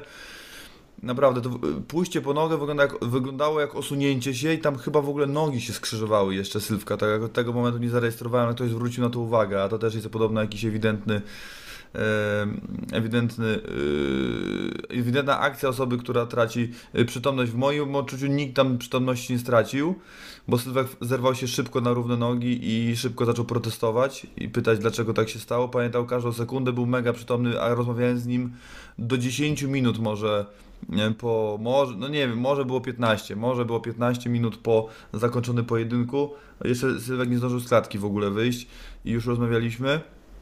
Także naprawdę no, nie uważam, on był przerażony, smutny. I załamany po prostu tym, co się wydarzyło i no, no nie w niewybrednych słowach wypowiedział się o e, Piotrze Michalaku, zarzucając mu to, że mm, zresztą cały wywiad macie do obejrzenia na, na naszym kanale, także nie będę tam powtarzał, bo przecież przeinacza, a potem i będzie imba. obejrzyjcie sobie ten wywiad. Piotr Michalak uznał, że nie, że nie będzie, bo w momencie, kiedy będzie, będzie się tłumaczył z każdego przerwania, to zaraz wyjdzie na, na osobę, która jest, nie wiem, no niewiarygodna, albo po prostu, y, jeżeli się tłumaczy, to znaczy, że jest winny, no jak to mówią wedle starego powiedzenia winy się tłumaczy. Także on uznał, ja uznałem, że w sumie to nie ma o czym mówić, ponieważ to było przerwanie. Ja nie widziałem tam kontrowersji jako y, redaktor, czy jakby umownie dziennikarz, więc nie widziałem sensu dopytywania o to. No ale tak na gorąco też mi się wydawało, że było za szybkie przerwanie w pierwszej chwili. Ale po obejrzeniu powtórki już nie miałem wątpliwości. Także, także tyle. No, nie, ma po, nie, ma, nie ma pola do rewanżu chyba też naprawdę. Yy, no jakby reasumując, to Sylwek Miller na pewno będzie się bił dalej na, yy, na galach Fight Night i tu nie ma o czym mówić. Myślę, że też na Grandzie. Yy, a ja z kolei wróciłbym, jeżeli KSW nie zatrudni Patryka Surdyna od razu, to ja bym chciał zobaczyć walkę z Wikłaczem jednak nadal. Mm. No, to prawda. Prawda, prawda. Mm, też jestem bardzo ciekawa, jak, jak Patryk zaprezentuje się na tle chłopaka, który potrafi zrobić po prostu z siebie żywy plecak. No, coś, coś, to może być coś ciekawego. Yy, ja tylko chciałabym jeszcze jedną rzecz dodać a propos tego przerwania. My musimy cały czas pamiętać o tym, że zadaniem sędziego, który jest w klatce, jest dbanie o bezpieczeństwo zawodników. Jeżeli on widzi ewidentny objaw w postaci tych kolan skrzyżowanych, bo tak to, tak to wyglądało, e, i widzi, że Patryk Surdyn nie zwalnia tempa i, i naprawdę dalej obdarza takimi ciosami e, głowę i szyję i tak dalej, tutaj poniżej, tak w tułów e, Sylwka, no to sorry, to Piotrek robi to, co powinien robić i co do niego należy. E, leci i przerywa tą walkę. E, więc ja oczywiście rozumiem Sylwka, bo to walka o tytuł mistrzowski, walka w organizacji, która promuje żołnierzy. Sylwek jest żołnierzem, więc ileś tam rzeczy po prostu się na to złożyło. I rozumiem jego rozgoryczenie.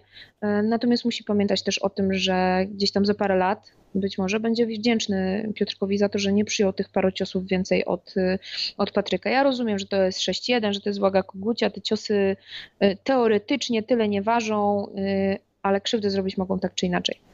Mm. Też jedna rzecz, na którą trzeba warto zwrócić uwagę, bo to, co zawodnicy mówią i moment, w którym się przerywa pojedynek, trzeba się zastanowić, to też mi mówili yy, panowie sędziowie, co by się wydarzyło, gdyby Piotr Michalak nie wkroczył, co by się działo dalej. Sylwek inkasowałby kolejne ciosy. No tak, no bo leciał w takiej pozycji, że tak naprawdę nie byłby w stanie szybko y, odwrócić losów y, tej walki, wyjść z tej pozycji, nie wiem, wywrócić na przykład Patryka i tak dalej. No, Patryk, był oparty, Patryk był oparty o siatkę. Jak to się mówi, dobrego słowa angielskiego mi brakuje, no to by się przydała Paula albo Jacek. E, one leg takedown to się chyba nazywa. Obalenie za jedną nogę będąc rozpłaszczonym na macie, zawodnika, który jest oparty o siatkę, no nie widzę tego. No marne szanse, marne szanse. I to warto po prostu pomyśleć, jakby zatrzymać stop klatkę, zrobić i zastanowić, co by się wydarzyło, gdyby sędzia nie wkroczył. Nie zmieniłoby się nic, tylko więcej ciosów by zainkasował Sylwek. Tak to by wyglądało. Więc sędzia tak naprawdę yy, przerwał w, w, dobrym momencie, bo uratował prawdopodobnie trochę zdrowia Y, Sylwkowi. Jest taka, jest taka możliwość. No nie dowiemy się, ponieważ y, walka została przerwana. Oczywiście, że jest masa pojedynków, które nie, zostali, nie powinny zostać przerwane i dzięki temu były lepsze i dzięki temu się odwracały losy pojedynków. Y, tutaj walka, nie, nie pamiętam dokładnie, Czejka Kongo z Patem Barym chyba i Lesnara z Keruinem. I to jest waga ciężka mhm. w ogóle. I te walki, mhm. gdyby były przerwane, to, te, to nigdy byśmy nie pamiętali o tych pojedynkach. Tak. I, to jest, I to jest właśnie to, dlatego fakt, zgadzam się, no w walce o pas w tej kategorii wagowej mógł Piotrek to zostawić do tych że dwa, może trzy ciosy, ale nie podjął złej decyzji. I, i, I tyle w tym temacie tak naprawdę, więc no nie było żadnej dyskusji. To jakby wiadomo, że sędziów nie jest wiele, oni się znają, lubią i tak dalej, i tak dalej, ale to tak nie działa. Zresztą yy, w środowisku sędziowskim też nie wszyscy ze sobą się lubią i na pewno ci, którzy nieprzepadnie są fanami Piotrka albo z nim rywalizują jakkolwiek, na pewno daliby ujście e, swoim emocjom w mediach społecznościowych, a nic takiego się nie wydarzyło jednak, e, więc myślę, że tutaj kontrowersji nie ma i możemy mm, tym akcentem zamknąć. E, piątą galę Armia Fight Night i na koniec ja bym chciał Ciebie poprosić, ponieważ no różni fachowcy i pseudofachowcy rozpływali się na Twitterze w, nad tą galą, no więc ja bym chciał się Ciebie zapytać, jakie były Twoje odczucia, no bo podobno produkt telewizyjny e, na miarę topowych organizacji w Polsce. Absolutnie e, zgadzam się z tym, że trzeba armię e, pochwalić za to, w zasadzie czy armię czy Polsat, no ale generalnie obrazek się zgadzał. Bardzo fajne, na to bym zwróciła uwagę, plansze, e, które po prostu są mega rozbudowane i to wprowadzenie o zawodnikach jest naprawdę pełne, więc to trzeba docenić zdjęcia, ujęcia i tak dalej tam w sumie czasem były takie dziwne ujęcia jakby z góry e, klatki. Ja wiem, że to fajnie wygląda, natomiast no za dużo nie mówi e, nic osobie, która to ogląda i mm, obserwuje akurat technikę, która gdzieś tam e, się zadziewa w, w klatce, tak, no nic to nie mówi, widzisz łepetynki, jakieś tam machające łapki, to jest tyle, więc z tych ujęć bym zrezygnowała, natomiast cała reszta mm, ujęć bardzo fajna. I w zasadzie jedna rzecz mnie tylko ubodła, na co zwróciłam uwagę, to to, że po zapowiedzi e, zawodnika przez chwilę jest cisza.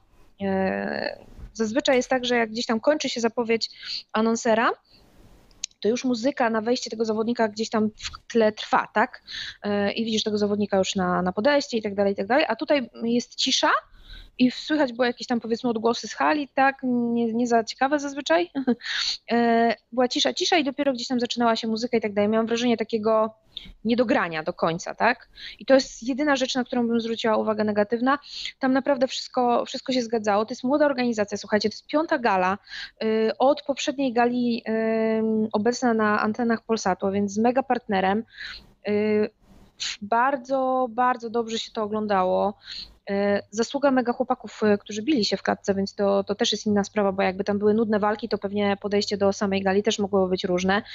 E, a więc nic, tylko pogratulować Filipowi Bątkowskiemu i ja zresztą pisałam z Filipem chwilę po, po, po gali dziś tam w niedzielę i, i gratulowałam mu udanej gali, a oprócz tego jeszcze napisałam całkowicie szczerze, że jestem po prostu dumna z tego, że Indicage jest obecne przy, od, pierwszej, od pierwszej gali tak naprawdę mm, Armia Fight Night i, i promuje tą inicjatywę, mega ciekawą zresztą y, i bardzo fajne jest to, że wyróżniają się na tle innych organizacji tym mieczem, tą, tą szablą, przepraszam, tą szablą mistrzowską. To jest, to jest mega, mega fajna rzecz. Na początku gdzieś tam mi się dwukrotnie, nawet jak pisałam jakieś newsy o, e, o Armia Fight Night i o walkach mistrzowskich, pisałam o, o pasie i potem się dopiero gdzie jaki pas, przecież tam jest szabla, nie? Tytuł to jest takie, Sylwek tego używał, tytuł jest taką e, pośrednią opcją, bo to tytuł to, tak. to jest tak odpowiednio, no bo tytuł to może być tytuł mistrzowski, Zgadza się. Jakby, a trofeum jakby to mm, szabla. Mm. No ja słyszałem taką wredną, y, wredną dygresję na ten temat, że po prostu szabla jest tańsza od pasa w wyprodukowaniu. Aha, no to wyjątkowo wredna i przy okazji chyba głupia, bo chciałabym zobaczyć kogoś, kto y, tego rodzaju szablę, jak jest, y, mm, jaką ma w tej chwili w posiadaniu Surdyn. Chciałabym zobaczyć, że jak, jak ktoś ją wyprodukował taniej niż, niż pasek. Naprawdę, pas można zrobić nawet z tektury i tak będzie wyglądał w telewizji więc nie, nie, słuchajcie, to bzdura jakaś. No są też pasy i pasy, prawda, no. Nie, no oczywiście, oczywiście. A, a propos pasów i pasów, e, jak będziecie mieli okazję, to przyjrzyjcie się pasowi ACA. No cudeńko, cudeńko. Tak, no ten nowy pas y, y, tego KSW UFC mi się nie za bardzo podoba. E, rozumiem zamysł i na początku to jak są zawsze, jak są zmiany, to się mniej podoba, ale potem jak już te się człowiek przyzwyczai, to patrzy na ten stary i mówię, nie tam. Także tak, no ja, ja jakby jestem fanem, znaczy inaczej, dla mnie pasuje UFC, on łączy i, i prostotę i, i taką, mm, nobi, nie nobilitację, yy, jest, jest i ozdobny, ale zarazem prosty. Jest taki, jak powinien być. No może dlatego, że to organizacja, która jest już tyle lat, to się utarło. Ale tak samo pas KSW, pas Fenu, one mi się, one mi się podobają. E, pas M1 jest dla mnie zbyt taki już naćkany troszeczkę, tam jest już tego za dużo wszystkiego. E, no dotychczasowe pasy PLMA z kolei za mało, za proste są dla mnie. Więc y, tak to mniej więcej widzę. No pasuje się jest czymś nowym takim. No zobaczymy, no to się będzie zmieniać, no taki mieli pomysł, więc y, on tam ma też dodatkowe smaczki, jakieś tam są flagi kraj, y, kraj krajów, które miały ten, zdobyły ten pas, jeżeli chodzi o zawodników. Także no, okej, okay, no. A tu jest... MMA masz teraz kobietę e, wśród organizatorów e, i to z tego co widać to pani Magda Bikowska ma, Bikowska, prawda? Dobrze, nie mylę nazwiska, ma sporo do powiedzenia, e, jeśli chodzi o organizację tych gal, więc myślę, że i pasem się zajmie wkrótce. Już kobieta nie, nie zdzierży, żeby taki pas był wydawany mistrzom. Myślę, że jeszcze chwilę i one będą naprawdę ładne. Tak jest, tak jest. No dobrze, w takim razie przechodzimy do tej części, na którą wiele fanów czeka najbardziej. E, podsumowanie e, Army Fight Night 5 w Łomży za nami. E, no już wiemy dzisiaj, że w Radomiu odbędzie się kolejna edycja. Oczywiście postaramy się tam dotrzeć, natomiast może będą, będzie ciężko, bo będziemy musieli połączyć galę w Łomży, w, przepraszam, przepraszam, w Radomiu 14 czerwca z Fenem, który jest 15 czerwca, jak wiemy, galę poprzez zaważenie. Także prawdopodobnie dwa, dwie ekipy będą musiały ruszyć w teren. Albo jedna się bardzo napocić, aby to połączyć. E, nie wiem, jak daleko jest Radomia do Ostrudy, ale to nie jest najdłuższy możliwy, najdłu, naj, najdłuższy możliwy dystans, także nie ma, nie ma tragedii. Dobrze, przechodzimy do QA. Tak jak zapowiadałem, e, tak jak ustalałem z Martyną, Martyna będzie czytała e, pytania z Facebooka, ponieważ no, to, grupa MMA Polska i Świat należy do Ciebie. Także zmierz się z tymi pytaniami, a następnie ja odpowiem na pytania z YouTube'a. Jeśli, jeśli pozwolisz, zanim przejdziemy do tych pytań, to chciałabym jeszcze przypomnieć, że e, w najbliższą sobotę odbywa się gala e, Rocky Warriors Cartel numer dwa. E, I na tą galę bardzo serdecznie Was zapraszamy. My jesteśmy patronem i będziemy też na tej gali oczywiście obecni. Od piątku, od ceremonii ważenia, e, później na samej gali, e, więc spodziewajcie się materiałów u nas na, na YouTubie. E, Myślę, że uda się ogarnąć też jakiegoś live'a tam z miejsca. Mm, Będziemy tam z ekipą, w zasadzie w ekipie trzyosobowej. Fajne walki się zapowiadają. Były zawodnik Damian, były zawodnik UFC, czyli Damian Stasiak, walczy w walce wieczoru.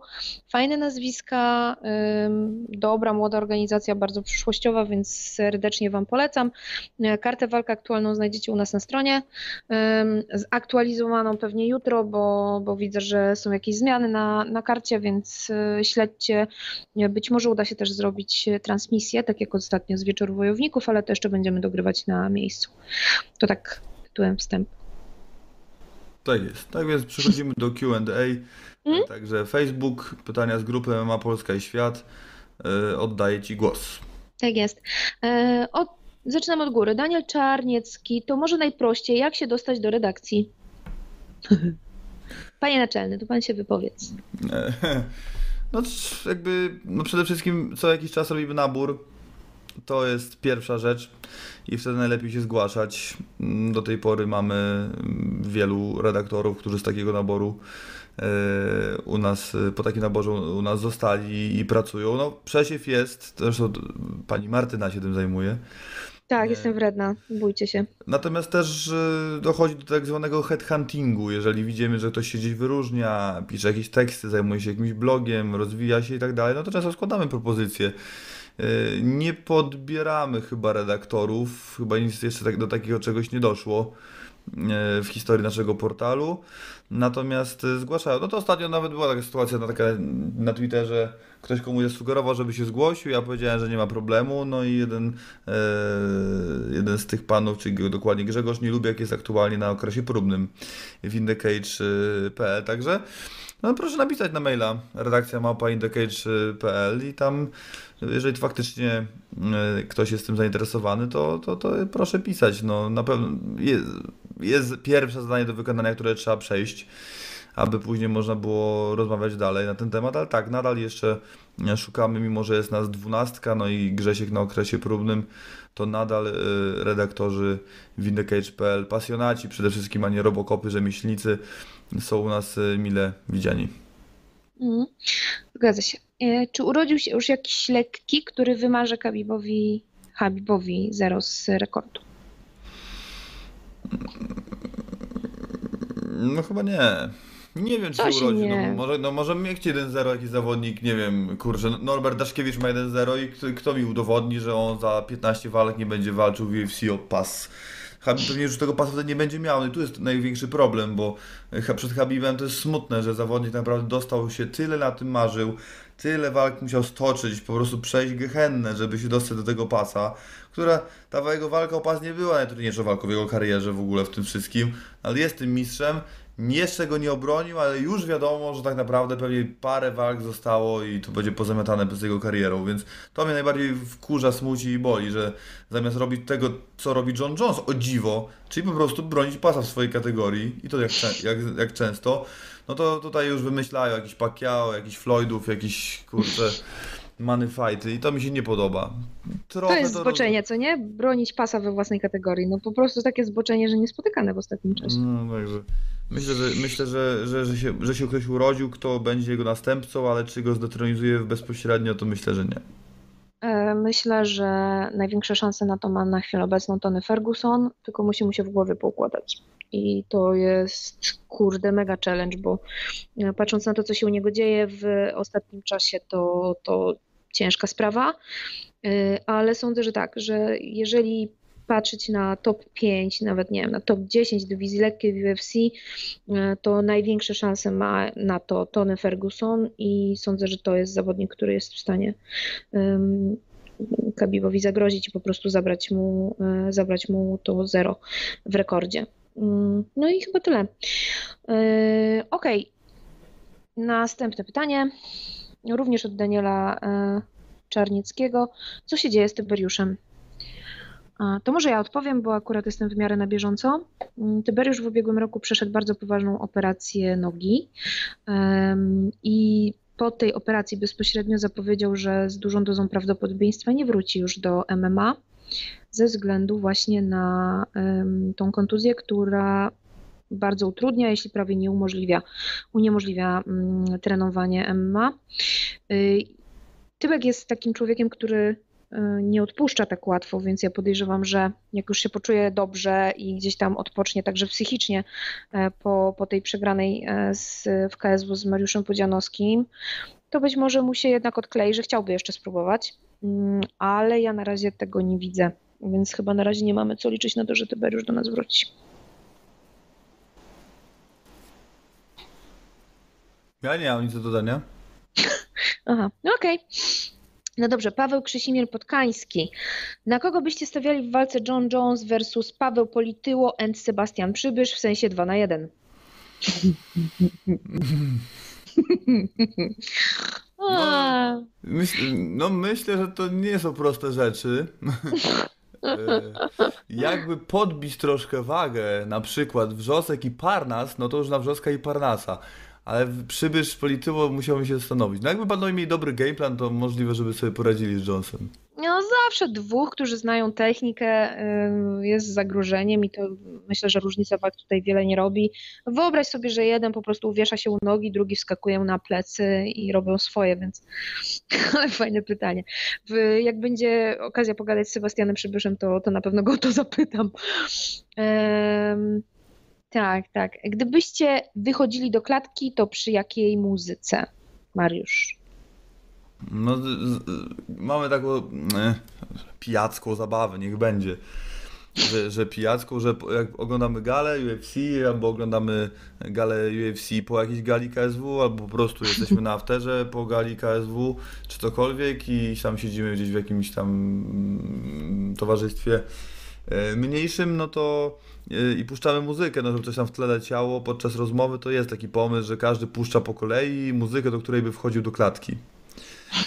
Tak, więc no jest kilka takich utworów, na- natomiast no, jednym, który podoba mi się najbardziej, do którego najczęściej wracam i o którym najczęściej myślę w takich momentach, jest kawałek, do którego wychodził mój kolega z Piaskownicy, zresztą do, między innymi do walki z Janem Błachowiczem w eliminacjach do KSW 9, yy, DMX The Rain.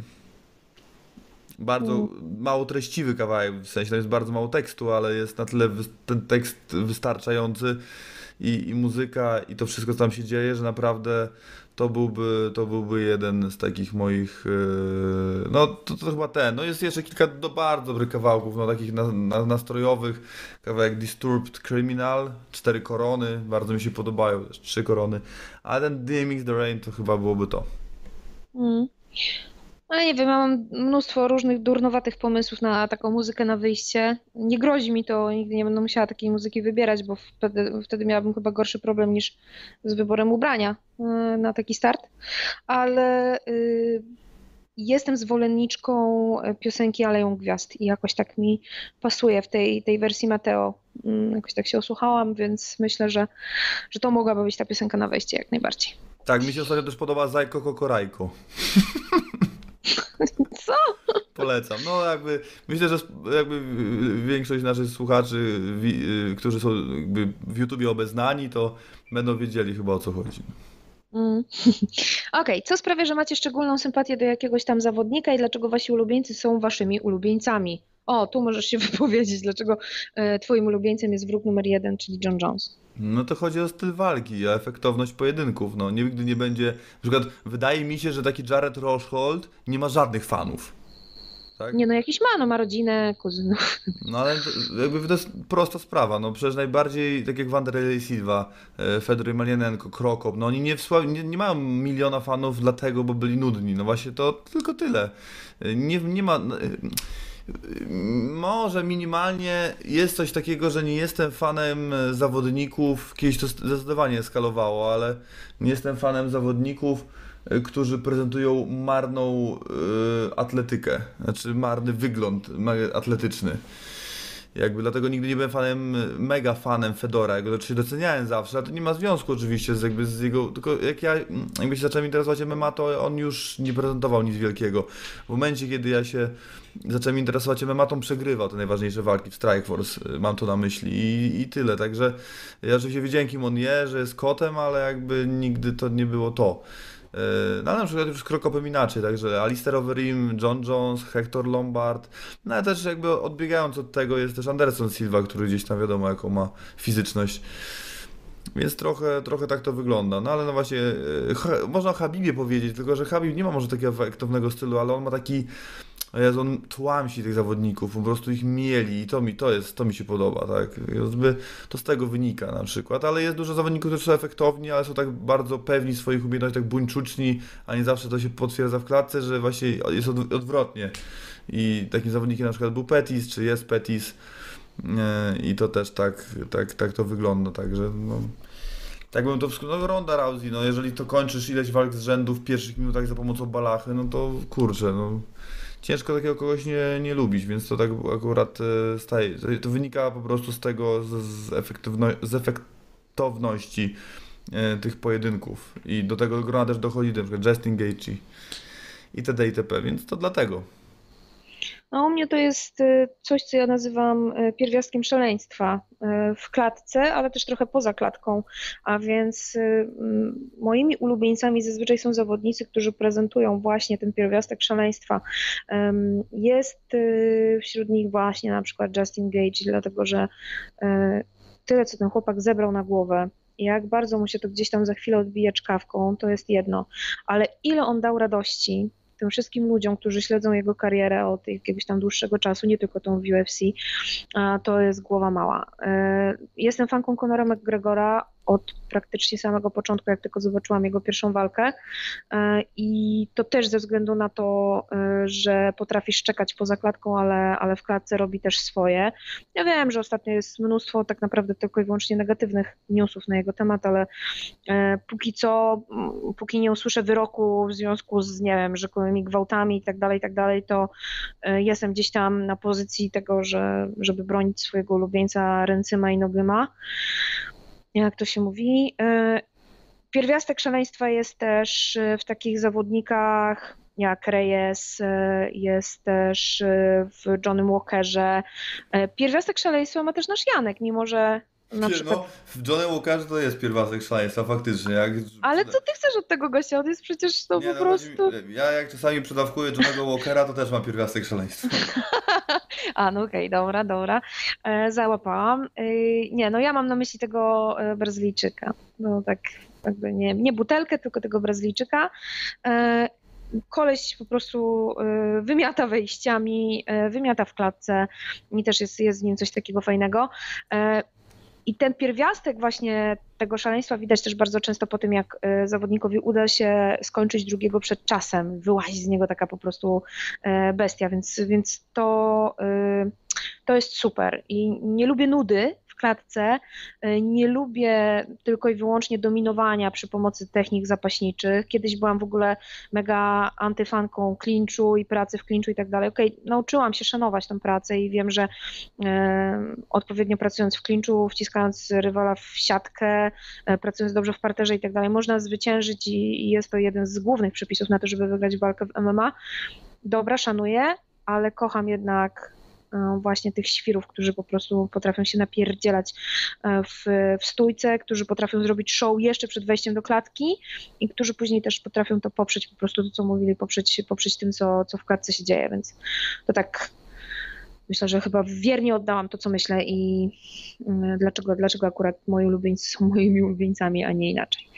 Jakie znacie zestawienia, które zapowiadały się sztos, a walka była nudna jak flaki z olejem i to samo w drugą stronę? Jezu, Louis Inganu. Czekałam na bomby i no poszłam to jest spać. modelowy przykład chyba. Nie, to jest w ogóle to jest coś, co ja no. będę po prostu dzieciom puszczać, żeby zobaczyły, yy, żeby uśpić, nie? Po prostu, bo to koszmar był jakiś, no naprawdę to, to, to było coś strasznego.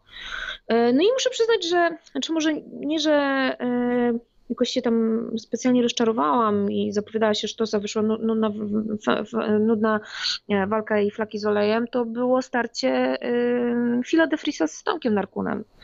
No i czegoś innego się spodziewałam, słuchajcie. No. Mm. Jakoś tak miałam nadzieję na coś zupełnie innego. Nie mówię, że flaki z olejem, no bo przecież no kurde, pięć, pięć rund pracy z jednej i z drugiej strony, więc to nie jest tak, że że flaki z olejem, ale rozczarowałam się, tak? Mm, chyba tak mogę powiedzieć. Więc tak. No się przychylę, no. Pewnie znalazłoby się. y, Nie wiem, czy można oczekiwać od walki mm, Jonesa z OSP, czy miała być sztosem, wątpię. Y, Wiadomo, że emocje opadły po zmianie rywala.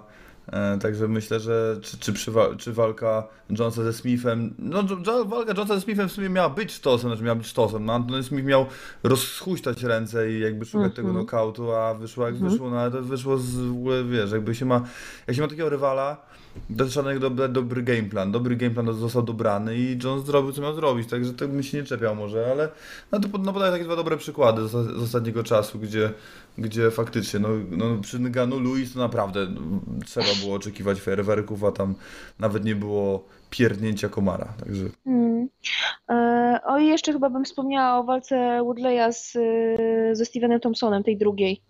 Jezu, naprawdę, a, myślałam, to, że sobie to ja w lepiej, łeb. to ja mam lepiej, to Tila z Thompsonem. Yy, tak. Jej, no tak, tak, masz rację. Natomiast wiesz co, jeszcze Till i Thompson to dobra, m- mogły być duże oczekiwania ze względu chociażby na Tilla, tak, i, i na to, co pokazał w walce z Sironi, ale e, w momencie, jak widzisz pierwszą walkę na UFC 205, tak, między Woodleyem i, i, i Thompsonem i po prostu kończy się tak, jak się kończy i musi być rewanż, żeby sobie panowie wyjaśnili, kto jest lepszy i po takiej mega napierdzielance, która mi się bardzo podobała w pierwszym starciu, nagle dostajemy flaki z olejem w drugim, to człowiek jest podwójnie jakby zdemotywowany do, i do jednego zawodnika, i do drugiego. Bo raz, że wiesz, że potrafią inaczej, a serwują ci taki badziew, yy, a dwa, że no, jak można, mając, dostając drugą szansę, yy, podchodzić tak asekuracyjnie. Już wiesz, co ten drugi potrafi, no to wiesz, że inaczej się nie da, jak nie pójdziesz odrobinę za ciosem i nie spróbujesz skończyć walki przed czasem, tak? A obaj po prostu po- podeszli kunktatorsko, no i, i tyle. W przypadku kunktatorstwa zawsze mamy do czynienia z tym, że mistrz jest górą i to jest, to jest tyle. To samo w drugą stronę, czyli jeżeli walka się zapowiadała średnio, a wyszedł sztos. A to dużo takich pewnie było. A ja mam jedną z UFC Praga. E, Walka Liz Carmouche z Lucy Pudilową. Kurde, myślałam, że tam będzie po prostu. Jezu, no nic, że wejdą dziewczyny i będą wykonywać trzy ruchy w ciągu, w ciągu minuty. Naprawdę nie spodziewałam się nic wielkiego po, po tym starciu. Bałam się, że, że Lucy, bio- biorąc pod uwagę, że będzie walczyła przed własną publicznością, to będzie właśnie taka asekuracyjna. A tu jak weszły po prostu w tango, no to naprawdę mega, mega świetna, rewelacyjna walka. Pokazały nudziarzom z kilku pierwszych walk, jak się powinno rzeczywiście tańczyć w oktagonie, nie? więc bajka. No to, to trzeba się bardzo grubo zastanowić. Musielibyśmy do, do tego naprawdę do tych pytań przygotować. Mm, Ciężko. Yy, no, no dużo było zaskakujących walk, ale tak by, że miała być lipa, a wyszło naprawdę yy, rewelacyjnie, to nie wiem. No, walka Cruza z Dillashowem, ale to chyba nie mogła się zapowiadać słabo. No nie. Ale, ale, ale przerosła moje oczekiwania, o na przykład w ten sposób mógłbym o niej powiedzieć. Mhm. Yy, Przerosła moje oczekiwania. Yy, No, no, no walka Dasaniosa z Sironem, no nie spodziewałem się, że tak to będzie wyglądało i tak szybko się zakończy, też byłem zaskoczony. W zasadzie trochę. E, Walka Alistara Overeema z Brokiem Lesnarem. No wiedzieliśmy, że będą mocne grzmoty, no ale że tak e, Rim to szybko rozwiąże, to też się nie spodziewałem. Yy, Bisping Henderson, no wydawało się, że to będzie jednostronna walka i dość taka, nie będzie ciekawa po prostu, jest wiadomy faworyt, a tutaj po prostu była wojna z Hendersonem i Bisping musiał stanąć na wysokości zadania, no parę takich, to, to tak na szybko, no. Z polskiego MMA to takie, które za, zakończyły się mega efektownie, E, no, Mańkowski parkę trochę, bo ja spodziewałem się też jedno, takiej walki jak Mańkowski McGuire, a, a skończyło się tak jak się skończyło. Pierwsza walka Tomka z Mamedem mi się wydawało, że też będzie mega badawcza. Każdy wiedział, że coś tam jest na szali. Jednak na szali jest jakiś taki nieoficjalny czempionat. I, i, a tutaj naprawdę było, było, było ostro, były knockdowny, a finalnie trójkąt z drugiej strony zapięty. Także też takie. Yy, od Materli i Mameda spodziewałem się też takiej bardzo walki, takiej jak Materla drwal trochę, a, a zobaczyliśmy po prostu no, yy, chwila, moment i było po wszystkim. No, jakże to coś w ten deseń, no tak bym, tak bym to widział, ale to pewnie coś by znalazł dużo, dużo lepszego. Pewnie tak. Okej, no i na koniec od Pawła Krzesimira Podkańskiego. Nie będzie piątego pytania, ale będzie suchar. Do jakiej piosenki Kane Velasquez powinien wychodzić do klatki? Jeśli zdrówko nam pozwoli. Cięte. Ale dobre. Tak. To, to by się zgadzało. E, Krzysiek Czachor. Czy to dobrze dla KSW, że Popek już nie zawalczy? No nie, odpowiadając na to pytanie. No jak dobrze, jak to była osoba, która zrobiła drugi boom y, na MMA, jak to Maciej Kawulski twierdzi, że Popudzianie to była dru, drugi, druga postać, która zrobiła, tak nakręciła zainteresowanie, no może KSW, nie MMA, może w ten sposób bardziej. Więc dla KSW jako dla organizacji to jest źle, no, na pewno. No tak, patrząc na to w ten sposób, to jak najbardziej. No natomiast to, to fatalnie nawet bym powiedział. natomiast yy, KSW nam się czyści z frików. To tak, taki, taka ostatnia obserwacja moja. No bo tak. No tak, no Tomek Oświeciński, wiesz coś na temat Tomka Oświecińskiego? Czy walczy, wró- wróci do walki, nie wróci w tej organizacji, czy w innej? Coś wiesz na ten temat? Kontrakt z KSW ma. Walczyć No. chce. Mhm. No tylko tyle wiem. Tylko z kim? No to, to, no z Martin Fordem mógłby walczyć, albo jakby wszystko jedno, no to, to się ktoś znajdzie, tylko czy czyści z frików nie wiem, no ciężko No nie wiem, no jakoś tak. No, no, ko- kogo masz frikowego w tej chwili w tym, w KSW? Tomasz Oświeciński, o którym nie wiadomo, czy wróci. Erko Jun, który na upartego to nie wiem, czy go nazwać frikiem. Nie, no jest freakiem, no to jest model fitness, który przyszedł do MMA i po prostu poradził sobie z dwoma frikami, no więc jest freakiem, nie walczy z- No dobrze, Nie walczy dobrze, z ci będzie. zawodnikiem. Jeśli pokona Akopa Szostaka, to y, Akop Szostak przez y, większość fanów, nie jego fanów, tylko fanów MMA, nie jest uważany za zawodnika, albo jakby to połączyć z Harrym Potterem, zawodnika półkrwi. Jezu. O, Mniej więcej, no jakby a- a- Akop Szostak wśród fanów y, MMA nie ma wielu fanów, jakkolwiek to brzmi, no. no nie ma, Niestety, ma prawda. fanów swoich z fitnessu czy jakkolwiek, ale wśród fanów MMA nie ma wielu fanów. Ludzi go jednak, to co ostatnio czytam, to jest naprawdę fala hejtu w jego stronę. Mhm. Okej, Waso miał zawalczyć na e, KSW 48 w średniej, więc pewnie z Drikusem. Skoro zawalczy na Fenie, to Drikus na 49, czy jeszcze jeden zawodnik z Bałkanów. Waso nie miał zawalczyć na gali KSW 48, nie wiem skąd taka informacja. Nie wiem dlaczego miał walczyć w średniej, to też raczej Mhm. nie jest prawda. Biorąc pod uwagę ostatnie pojedynki Waso, to nie. Na pewno nie z Drikusem. To też wam powiem, że na pewno nie, Krzysiu, nic absolutnie, e, nic takiego. Skoro zawalczy na Fenie, to Drikus na KSW 49, czy jeszcze jeden zawodnik z Bałkanów. E, Drikus bardzo chciałby zawalczyć na KSW 49. Mm, Są jakieś tam rozmowy. Wiadomo, że może walczyć tylko i wyłącznie w średniej, do półśredniej już nie zejdzie.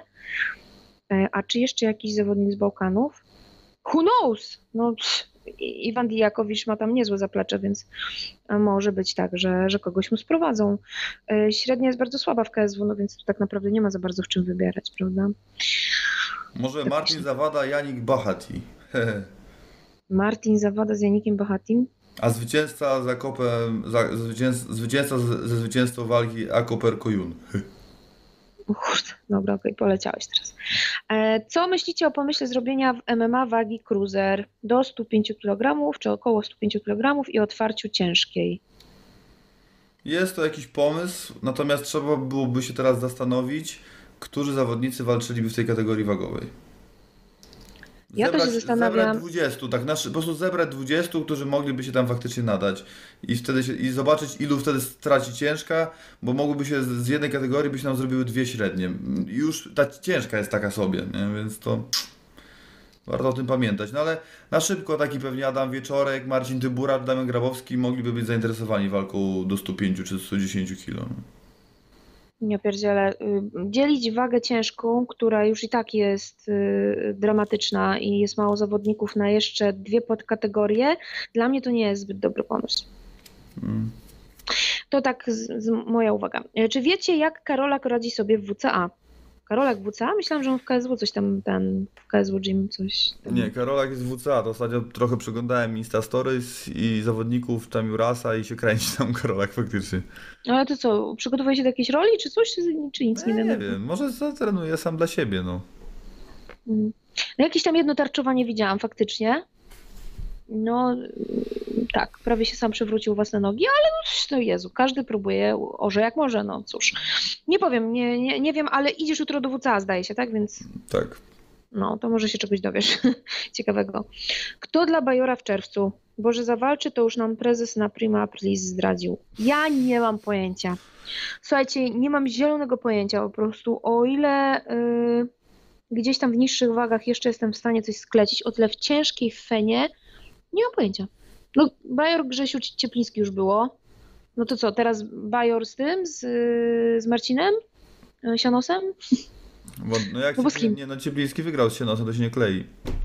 No ale nie, ja mówię o Bajorze. Z kim Bajor? No może z Cieplińskim. Czemu? Poczekaj. Tu, Boże. No, ale- Bajor wygrał z Cieplińskim a Ciepliński i wygrał z Ciepliński wygrał... No dobrze, ale Sianos się odbił od tego czasu. No przecież pokonał Ządka. No więc czemu, co? No dobrze, no ale nie widzę tego, no. Uważam- Kurde, no a uważam, widzisz kogoś nie, innego no. w ciężkiej tam, no nie ma Damiana Grabowskiego już, był i nie ma. To co, znowu jakiś brazylijski król nokautu? No średnio. Nie, jest problem, no bo nie, nie mam pomysłu, jest po prostu problem. No, No dobra, zaciągi z Polski.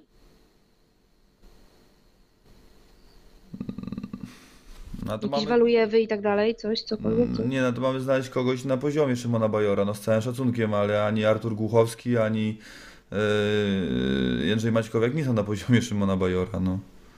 Trzeba warto No przypomnieć jednak, że Szymon Bajor jednak walczył w, w, w Japonii naprawdę z dobrymi zawodnikami. Nie, nie mówię, że, że Bajor to jest zawodnik y, rzędu rekordu 3-4 albo 4-3. Nie, to nie o to chodzi.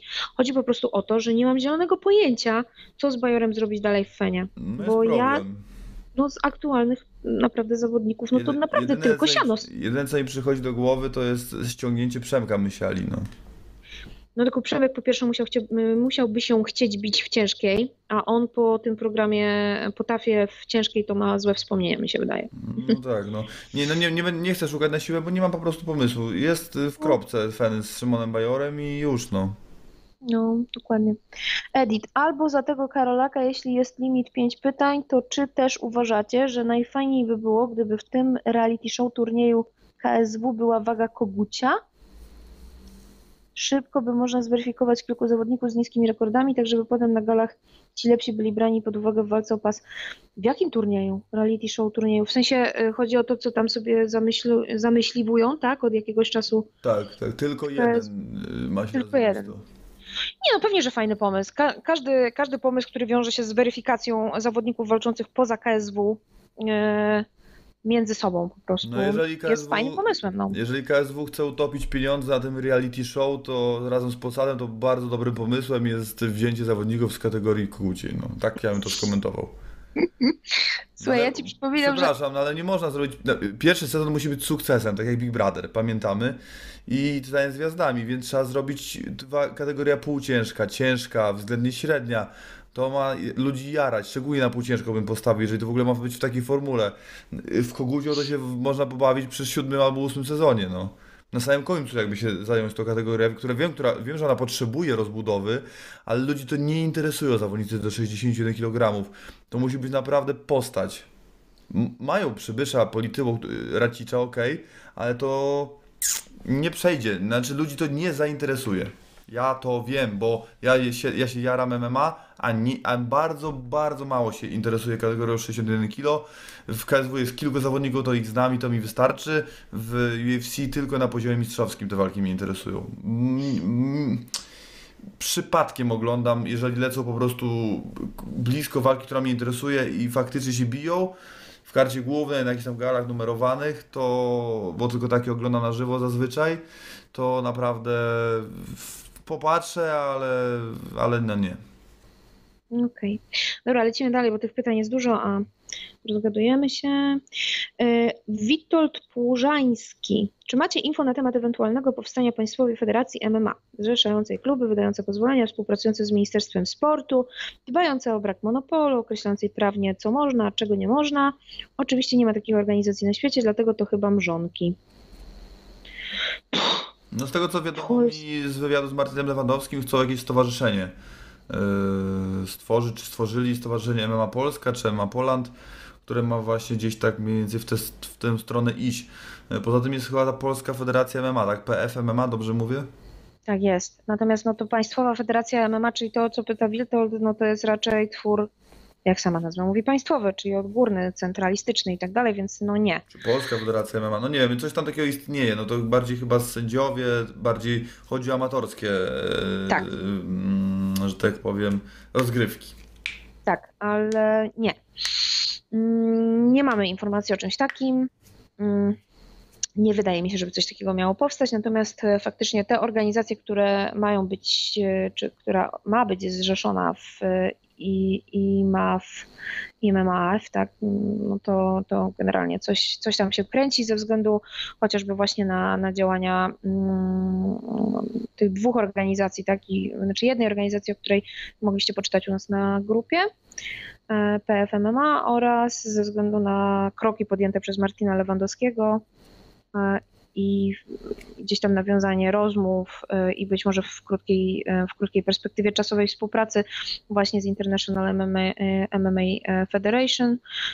Ja Wam polecam ogólnie, jeśli interesujecie się tym tematem, Witold, Ciebie zachęcam do tego, żebyś odnalazł na naszym kanale wywiad z Kerritem Brownem, czyli z prezesem IMAF i on tam bardzo wiele mówi o tym, jak widzi przyszłość e, zorganizowania amatorskiego MMA w Polsce.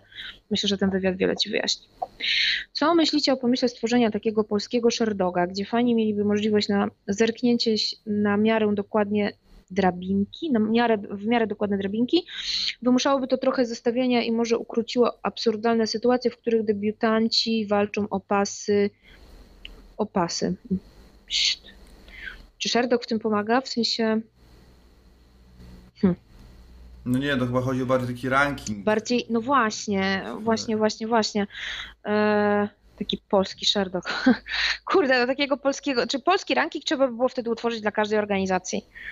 A to kurde, to nawet organizacjom nie zawsze zależy na tym, żeby mieć ranking. czasochłonna sprawa, to jest bardzo, poza tym my możemy sobie stworzyć rankingi, a oni tak zestawią tak, żeby im się oglądalność zgadzała. No. No dokładnie, więc to jest marne szanse. Nawet rankingi UFC, czyli największej organizacji MMA na świecie, pozostawiają wiele do życzenia, więc cholernie ciężkie zadanie. Żeby nie E, powiedzieć, że są sące. No tak, żeby nie powiedzieć. Czy nie macie wrażenia, śledzicie to na znacznie bardziej niż, szeroko, niż szeregowy kibic, że rynek jest za mały na taką ilość federacji? Skoro ogólnoświatowe UFC ma problemy z oglądalnością właśnie przez ilość wydarzeń, to czy u nas nie będzie podobnie? Babylon Fan, PLMMA, Armia, oczywiście KSW oraz kilka mniejszych organizacji. Na tak małym rynku chyba ciężko y, zbudować tak dużą bazę kibiców, żeby byli realnie zainteresowani każdą z gal. No to jest y, i tak i nie. Znaczy tych gal jest naprawdę dużo, jest coraz więcej, zaraz y, rynek się przesyci, a fan się może nawet znudzi, ale znudzi się tylko wtedy, kiedy te wydarzenia będą się działy, będą telewizyjne. No bo jeżeli ma za dużo w telewizji, no to do, którego, do czego ma dostęp y, ka- każdy, no to to może faktycznie być przesyt. Tak jak teraz mamy te paradokumenty, no ludzie już żygają tym, no bo już tam mamy lekarzy, policjantów, hodowców jedwabników i wszystko. Jest jakby paradokumenty o każdej dziedzinie, jakby każdym, każdej społeczności. I wydaje mi się, że to, to tak, wtedy tak, ale w momencie, kiedy te gale są lokalne, to nie. A już na pewno jak się dzieją tylko w internecie, to to już zupełnie nie. Także y, lokalna gala, tak jak Slackfest, tak jak Wieczór Wojowników, czy Armia na przykład, to są gale, które, no tam są komplety i z telewizją i bez telewizji. Tak, więc myślę, że nie. Natomiast y, no, jeżeli zaczął się nakładać terminami i dochodziło już do takich sytuacji, gdzie Babylon był dzień przed KSW, gdzie teraz armia będzie dzień przed Fenem, no to się zaczną robić problemy. Faktycznie. E, Już w tym roku chyba mamy, to jest pierwszy rok, 2019 rok, to jest chyba pierwszy rok, w którym nie było sezonu MMA, bo zawsze mieliśmy takie dwie ramówki, jesienna i zimowa, czyli tam od września do grudnia, tak naprawdę nie do końca od września, tylko bardziej od października do grudnia i od marca do czerwca. I to były takie po 4, 3-4 miesiące. W tym roku się to w ogóle zmieniło i mieliśmy, sezon zaczął się 5 stycznia. Galo w Zawierciu, e, Jurassic e, no, no Mercy, Octagon No Mercy Jurassic Fights i, i tak naprawdę skończy się chyba chyba 15. y, Chyba 22 już nie ma żadnej gali MMA. Więc i, to, to, i to jest to, o czym mówisz. Natomiast tak jak mówię, te gale lokalne, które nie mają transmisji telewizyjnej albo mają tylko streamy, mają się naprawdę dobrze, bo tam po prostu są gale tworzone tak, że tam połowa fight cardu to są zawodnicy lokalni, na nie walą tłumy i z kompletem 500 tysiąca czy 1500 miejsc nie ma najmniejszego problemu. No i tu się całkowicie praktycznie z Tobą zgodzę. E, Nie mam za bardzo nic do dodania. Im więcej gal e, też o tym charakterze lokalnym, tym lepiej, bo ci zawodnicy muszą się mieć gdzie bić. Jakby się mieli bić na pięciu czy sześciu galach KSW w roku i tyle samo fenu, to, e, to niekoniecznie. E, Czy ilość gal KSW ma jakiś związek z resztą organizacji? Gdybym ja prowadził ten biznes i chciał ostatecznie pokazać, kto jest numerem jeden, stworzyłbym sytuację, w której kibice zalani są kontentem od największej organizacji i najnormalniej w świecie reszta schodzi na dalszy plan. Zero hejtu, czysta ciekawość. No ale KSW w ogóle nie, nie, nie, z nikim nie wojuje, w ogóle, jakby w żaden sposób. Oni nawet, e, KSW nawet do, do, zrobił niezły wynik, będąc w Dublinie, podczas gdy, podczas gdy UFC było e, w Polsce, oczywiście, media w Polsce i to wszystko, no niestety UFC wygrało, sromotnie, w moim odczuciu, z KSW w Dublinie. Ja jako, do mnie przekaz medialny z UFC trafiał e, dużo większy e, niż z Dublina. Natomiast e, KSW może zrobić galę w dzień Fenu, może zrobić galę po Fenie, może zrobić galę po Babilonie. Zrobili galę po Babilonie, nie wpłynęło to w żaden sposób na, ani na, chyba nawet na Babilon też nie specjalnie, a na pewno nie na KSW. Tu mowa o KSW 44, wielki sukces. Nie było z tym żadnego problemu. Oni mogą, i tak naprawdę dla nich to byłoby problemem zrobienie UFC tego samego dnia na pewno. I albo dzień, dzień wcześniej, czy, czy, czy dzień później w tym samym kraju. Mówimy o tym samym kraju.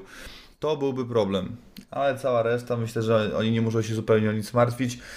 Był nawet taki moment chyba w Sztokholmie, gala, gdzie Janek debiutował z Ilirem Latifim.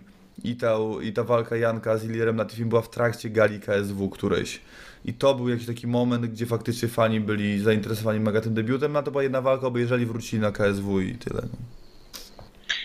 Jak realnie oceniacie liczbę osób, potencjalnych odbiorców poważniejszego MMA w Polsce? Kiedyś było to może kilka tysięcy osób maksimum. Od czasu podziana na pewno ta liczba rośnie, ale nie licząc dzieciaków i panów z wąsem kojarzących tylko byłego strongmana, da się oszacować tę liczbę. Patrząc po wyświetleniach, po odwiedzających na stronach i znowu Wam łatwiej to oszacować, to jest jakieś 15 tysięcy, czy może 100 tysięcy, a może teraz przesadzam i na przykład y, powyżej 500 tyś- 500 tysięcy stałych zainteresowanych, znowu w ramach ciekawości. Yy, ale to mamy powiedzieć, ile nas osób odwiedza miesięcznie, żeby to oszacować? Nie, no wydaje mi się, że tak, że po pierwsze to są wielkie kłamstwa na tym świecie, ale największym kłamstwem jest statystyka.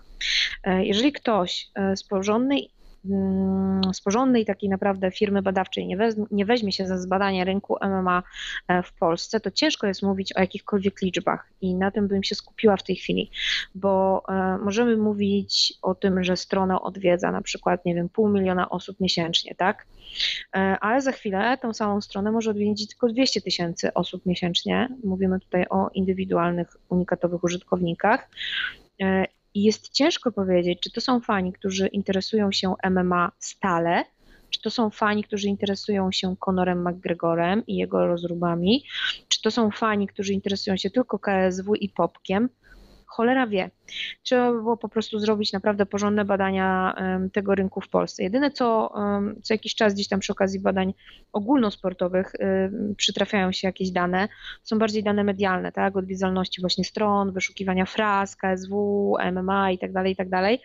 To tylko na podstawie tam, takich danych możemy powiedzieć, że ta liczba fanów MMA rośnie ale już, żeby stwierdzić, czy to jest liczba MMA fanów, którzy ro, rośnie ze względu na, na to, że to dołączają na przykład do grupy y, 14-letnich fanów Popka, y, albo y, po prostu, nie wiem, gru, grupy, które się zajawiły MMA, y, oglądając faktycznie hardkorowe MMA, czyli, czyli UFC, ACA i tak dalej, to już nie da się tego powiedzieć. Nie, bardzo, bardzo ciężko jest to oszacować.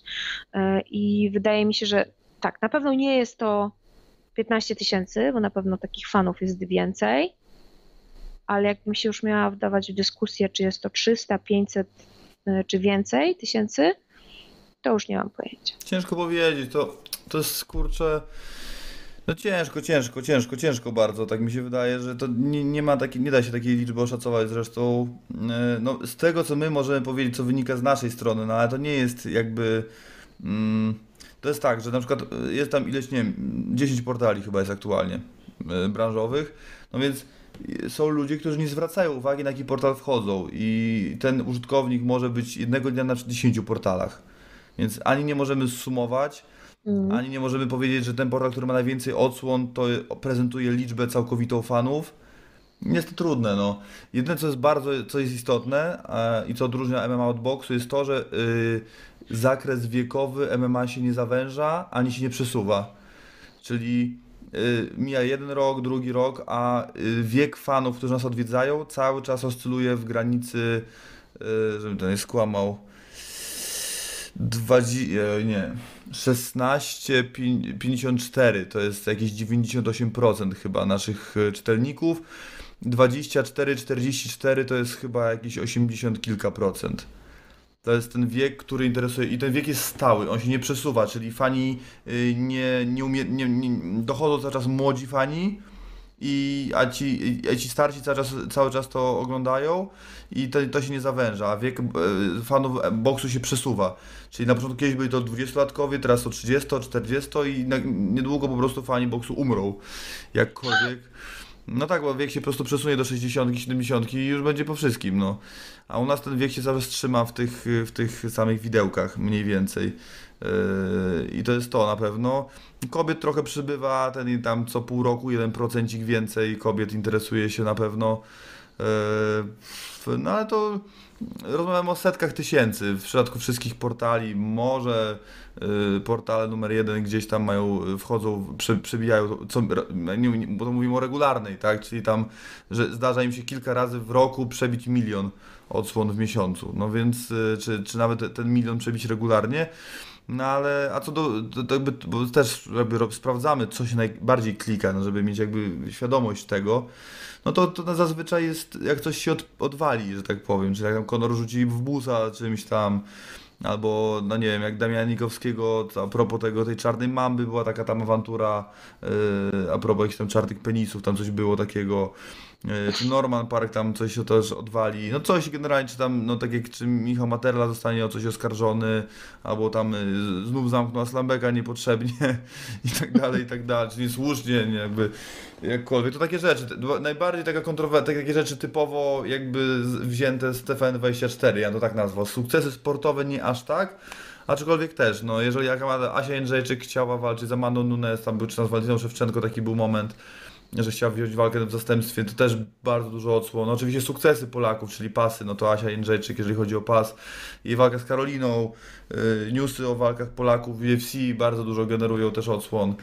Także to w tą stronę mniej więcej, no tak, to, to, czyli takie nazwiska topowe, te, które nazwiska- są najbardziej popularne, te, te nazwiska najbardziej generują.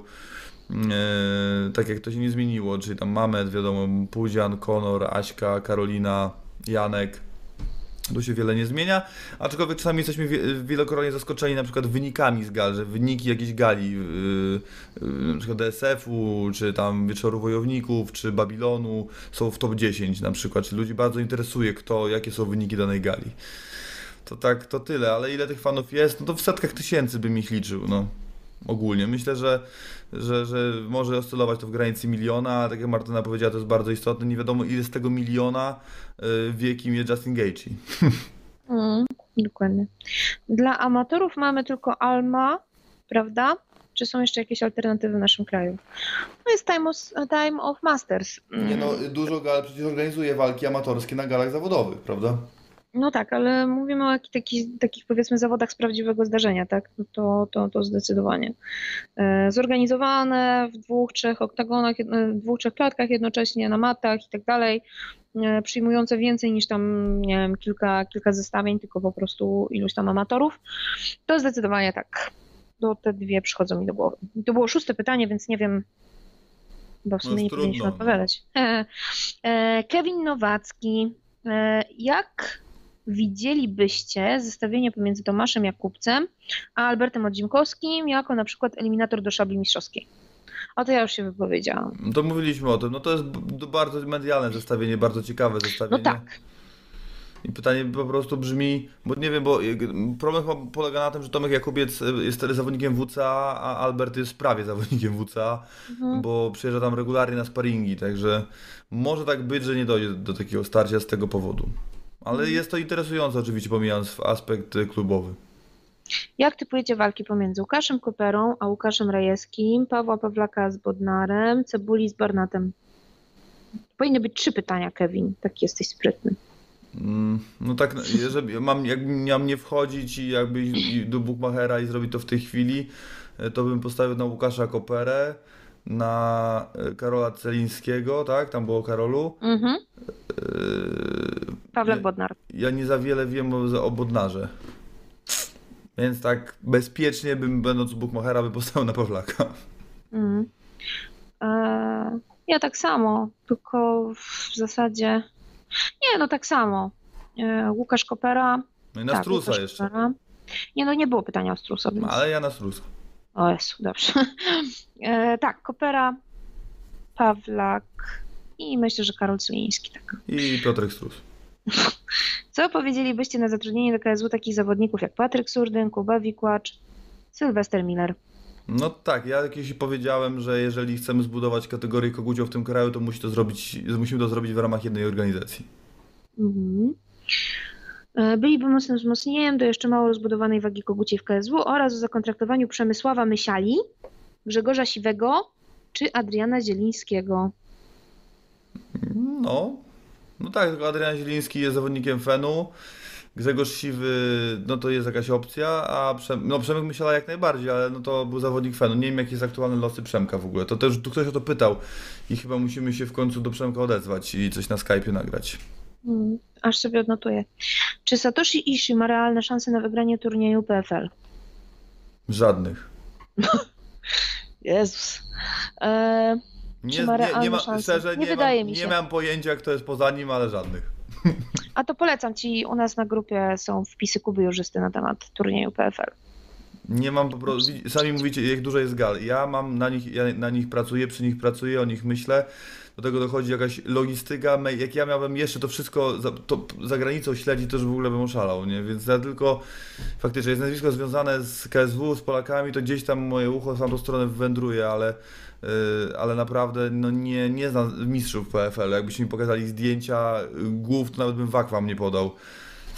No może przesadzam trochę, ale jakby wiadomo o co chodzi. No nie, jest tego wszystkiego za dużo, żeby to kiedyś to było bardzo łatwe. Tak mi się wydaje, albo dużo łatwiej, żeby pamiętać wszystko, nawet rekordy tych zawodników. Może byłeś młodszy i dlatego.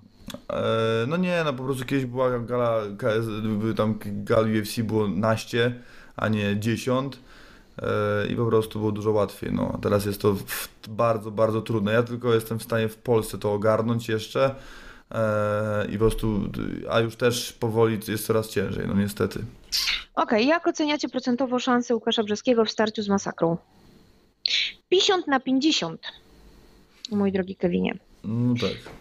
Zdecydowanie 50 na 50, bo po stronie e, Michała jest doświadczenie, a po stronie Łukasza Brzeskiego cios jak cep. Mm. Chłopak jest bardzo, groźny, bardzo groźny i naprawdę e, trzeba się z tym liczyć, więc ja oceniam 50 na 50. Nie zdziwi mnie żaden wynik e, tej walki, łącznie z poddaniem ewentualnie. Ale Minim- naprawdę. Minimalnym faworytem z racji doświadczenia pewnie Michał, no. No tak, na papierze zawsze jednak to doświadczenie jest czymś, co przeważa, ale, ale nie, zdecydowanie 50 na 50. Pozdrawiam serdecznie Mariusza oraz panią redaktor Martynę. Również ciebie pozdrawiamy, Kevinie, i dziękujemy za pytania. Tak jest. Michał Ziajko, Zajko, przepraszam, może nie pytanie, ale info dla Maliny i Mariusza. W jednym z poprzednich MMA Tonight, mówiąc o One Championship, nie wiedzieli, gdzie oglądać, podawali, że w TV leci za free i tak dalej. Mianowicie można na YouTube zobaczyć całe gale za darmo jest link, choć nie wiem, czy live tam puszczają, ale dosłownie następnego dnia zawsze już całość y, zuploadowaną mają. Do tego również podobno darmowy live na swojej apce, na telefon mają, więc nawet na kiblu można oglądać. No to Malina. Pozdrawiam i życzę rozwoju i sukcesów. Dzięki, Michał. E, ostatnio można było oglądać galę e, One Championship e, Na na, Fightboxie fight, chyba. na Fightboxie, mhm, więc tak. W Polsce na żywo można oglądać galę One na YouTube. No to Maciek Więckowski wyjaśnił tutaj temat. Kamil Wawro, czy wybierzecie się na galę fresków, która, którą wyprodukuje KSW? Frików chyba. Fresków. Mhm. Y, Ja, ja, to pamiętam, ja zapamiętałem i ja od razu, y, ja to bardzo szybko ukrócę i teraz pytanie brzmi, czy ty, albo wy drodzy słuchacze, chcecie, żebyśmy tam jeździli? Bo to jest pytanie. In the Cage to portal od fanów dla fanów i wiadomo, że patologii u nas nie będzie, ale na razie ten projekt nie zapowiada się na projekt patologiczny, natomiast to jest pytanie do was. Tak naprawdę to jest pytanie do was, no bo to my portal tworzymy dla was. Ja tą galę pewnie sobie obejrzę nawet, y, jak będzie taka możliwość, aż ten termin chyba 8 czerwca, tak? To jest jakiś problem, problemat, tam coś chyba jest tego dnia, jakaś gala MMA, więc nie wiem, ale nieistotne. No jakby zmierzam do tego, że to jest pytanie do Was, drodzy fani. Czy Wy chcecie, żeby my, żebyśmy my tam jeździli? Bo y, to, to, jakby mówię, że to od Was zależy, tylko po prostu takie mam pytanie. I na tym zakończę. Sprytnie. E, Pytanie tylko na FB, jak rozumiem. Fabian Warzecha. E, Patrzę, czy Fabian tu coś napisał. Chyba napisał na YouTubie, więc tu nie będziemy dalej się wgłębiać. Okej. e, Marcel Zasadzki, opowiedzcie wasze historie. O matko i córko. Jakie historie znów? No, nasze historie. Ma- Mariusz, masz jakąś historię do opowiedzenia? Hmm. Opowiedzcie waszą historię. No to ja mam taką historię jedną, mi się przypomniało. O, Jak miałem 16 No lat, to brałem sterydy. Tak, i brałem y, metanabol w tabletkach, y, bo koledzy też brali byli duzi, i ja też chciałem być taki duży. I miałem dwa handle 3-kilowe i sprężynę. I piłem zieloną herbatę i brałem metanabol. E, dobra, Marcel nie pytał o głupoty, które zrobiliśmy, tylko, e, tylko o, wa- o waszą historię. Słuchaj, a może to chodzi o naszą historię, moją i twoją w sensie. A może. A Poznali- nie, to Poznaliśmy się w- przez In The Cage, no. Tak. E, To jest super. MMA łączy ludzi, to jest w ogóle coś niesamowitego. Tak jak Jacek z Paulą, no. No tak, tak, dokładnie, dokładnie. Mamy dwie pary w e, redakcji. E, słuchajcie, no kurde, no, kiedyś się śmiałam, że ten, że trzeba iść do MMA, żeby sobie męża znaleźć. I ciach. Nie, no żarty żartami. Marcel, jakbyś zechciał sprecyzować przy okazji to pytanie, to my ci się chętnie wypowiemy, tak? Natomiast dzisiaj już jest dosyć późna godzina, my już gadamy od dwóch godzin, więc e, Tak, ale ja tylko mogę dodać tyle, że Martyna się przeprowadza i będzie do Warszawy, będziemy mieszkali razem, a to jest bardzo istotne, bo to spowoduje, że materiału yy, na YouTubie będzie jeszcze więcej. No tak, to prawda. To prawda, taki jest plan, żeby się zaktywizować jeszcze bardziej w Warszawie, no bo jest tam gdzie po prostu jeździć z wizytą. No tak to będzie jeszcze więcej, jeszcze lepszego materiału i nasz operator Kacper, który jakby nie jest oficjalnie redaktorem, a w sumie powinien chyba nawet, yy, odetchnie trochę z ulgą, no. Nie, no myślę, że Kasper lubi z tobą jeździć, więc myślę, że myślę, że będziemy jeździć po prostu we trójkę. E, Okej, Karol Emski, tak to przeczytam. Kogo dla Karoliny Kowalkiewicz na tą chwilę? No to już wiemy. To już wiemy, no i teraz, no dobrze, no to w takim razie możemy o tym powiedzieć w tej, w tej chwili, już tego nie odhaczać dodatkowo. Yy, No więc Karolina Kowalkiewicz wystąpi przeciwko Aleksie Grasso. Po, tworząc tego newsa przypomniałem sobie rekordy obu pani, to z kim walczyły, no więc ciekawe jest, że Aleksa Grasso stoczyła cztery pojedynki. Dwa wygrała, dwa przegrała. Przegrała ostatnio z Tatianą Suarez. Co prawdopodobnie, biorąc pod uwagę formę Tatiany Suarez yy, i to, jak jej idzie kariera, nie jest ujmą, natomiast yy, Mm, stoczyła te, te same pojedynki, które stoczyła Karolina Kowalkiewicz. Heather Joe Clark, Felix Herrick, Randa Marcos. Różnica polega na tym, że nie poradziła sobie z Felix Herrick chyba, z którą poradziła sobie Karolina Kowalkiewicz. W związku z tym, no, umówmy się, no, Alexa Grasso jest y, dziewczyną, która miała tam chyba mocność wbić i po, troszkę po, po e, zamieszania zrobić, nie udało jej się. Tam nawet jakaś walka z Plitem była, e, więc e, uważam, że Karolina sobie z nią bez problemu poradzi. Alexa Grasso zajmuje chyba 13 miejsce w rankingu. Wydaje mi się, że no, jeżeli nie poradziła sobie z Tatianą Suarez i z Felix Herrick, no myślę, że z Karoliną też sobie nie poradzi. No z Alessą Grasso jest taki problem, że ona jest dobrą uderzaczką. I tak, Karolina lubi bronić ciosów twarzą, to oczywiście nieraz i, o, nieraz nie, nie dwa o tym mówiła, Eee, i wiele ciosów e, wyprowadzanych przez, zawod przez zawodniczki pokroju takiego jak na przykład Rose na Majonas nie robiły na niej e, jakiegoś większego wrażenia, mimo że je odczuwała, więc gdzieś tam jest tutaj szansa w tym, że e, Alexa będzie chciała iść w wojnę stójkową, a Karolina się w takich wojnach bardzo dobrze znajduje. Natomiast trzeba pamiętać też o tym, że Alexa potrafi poddać. Jest zawodniczką, która dobrze sobie radzi w parterze, więc tutaj też będzie musiała się po prostu Karolina e, pilnować. Nie uważam, że to jest łatwa walka dla Karoliny. E, śledząc karierę Aleksy, to w jaki sposób walczy, e, nie wiem, jej wzrost, zasięgi i tak dalej, i tak oraz to, że jest taka raczej atletyczna, więc no i jest ta siła, tak, u niej jest bardzo, bardzo taka eksponowana ta, ta siła i faktycznie tak jest, że ona potrafi kończyć rywalki przed czasem dzięki ciosom albo dzięki ground and pound, no to trzeba będzie uważać. I jestem pod wrażeniem, że Karolina zdecydowała się wziąć taką walkę tak szybko, bo do Aleksy trzeba się przygotować. Mhm. Natomiast no ja dodam tylko tyle od ciebie jeszcze, że yy, yy, to będzie największe wyzwanie w karierze Aleksy Grasso, a nie największe wyzwanie w, w karierze Karoliny Kowalkiewicz. Powiem więcej, Karolina Kowalkiewicz miała ze dwa, trzy większe wyzwania niż Aleksa Grasso. Cztery nawet. Mm. No okej, okay, zobaczymy. Co sądzicie, by zacząć trochę więcej czasu poświęcać zawodom graplerskim na waszym portalu, tym bardziej utytułowanym eventom? Jeśli nie macie nikogo, kto jest tym specjalistą, może fajnie by było go poszukać.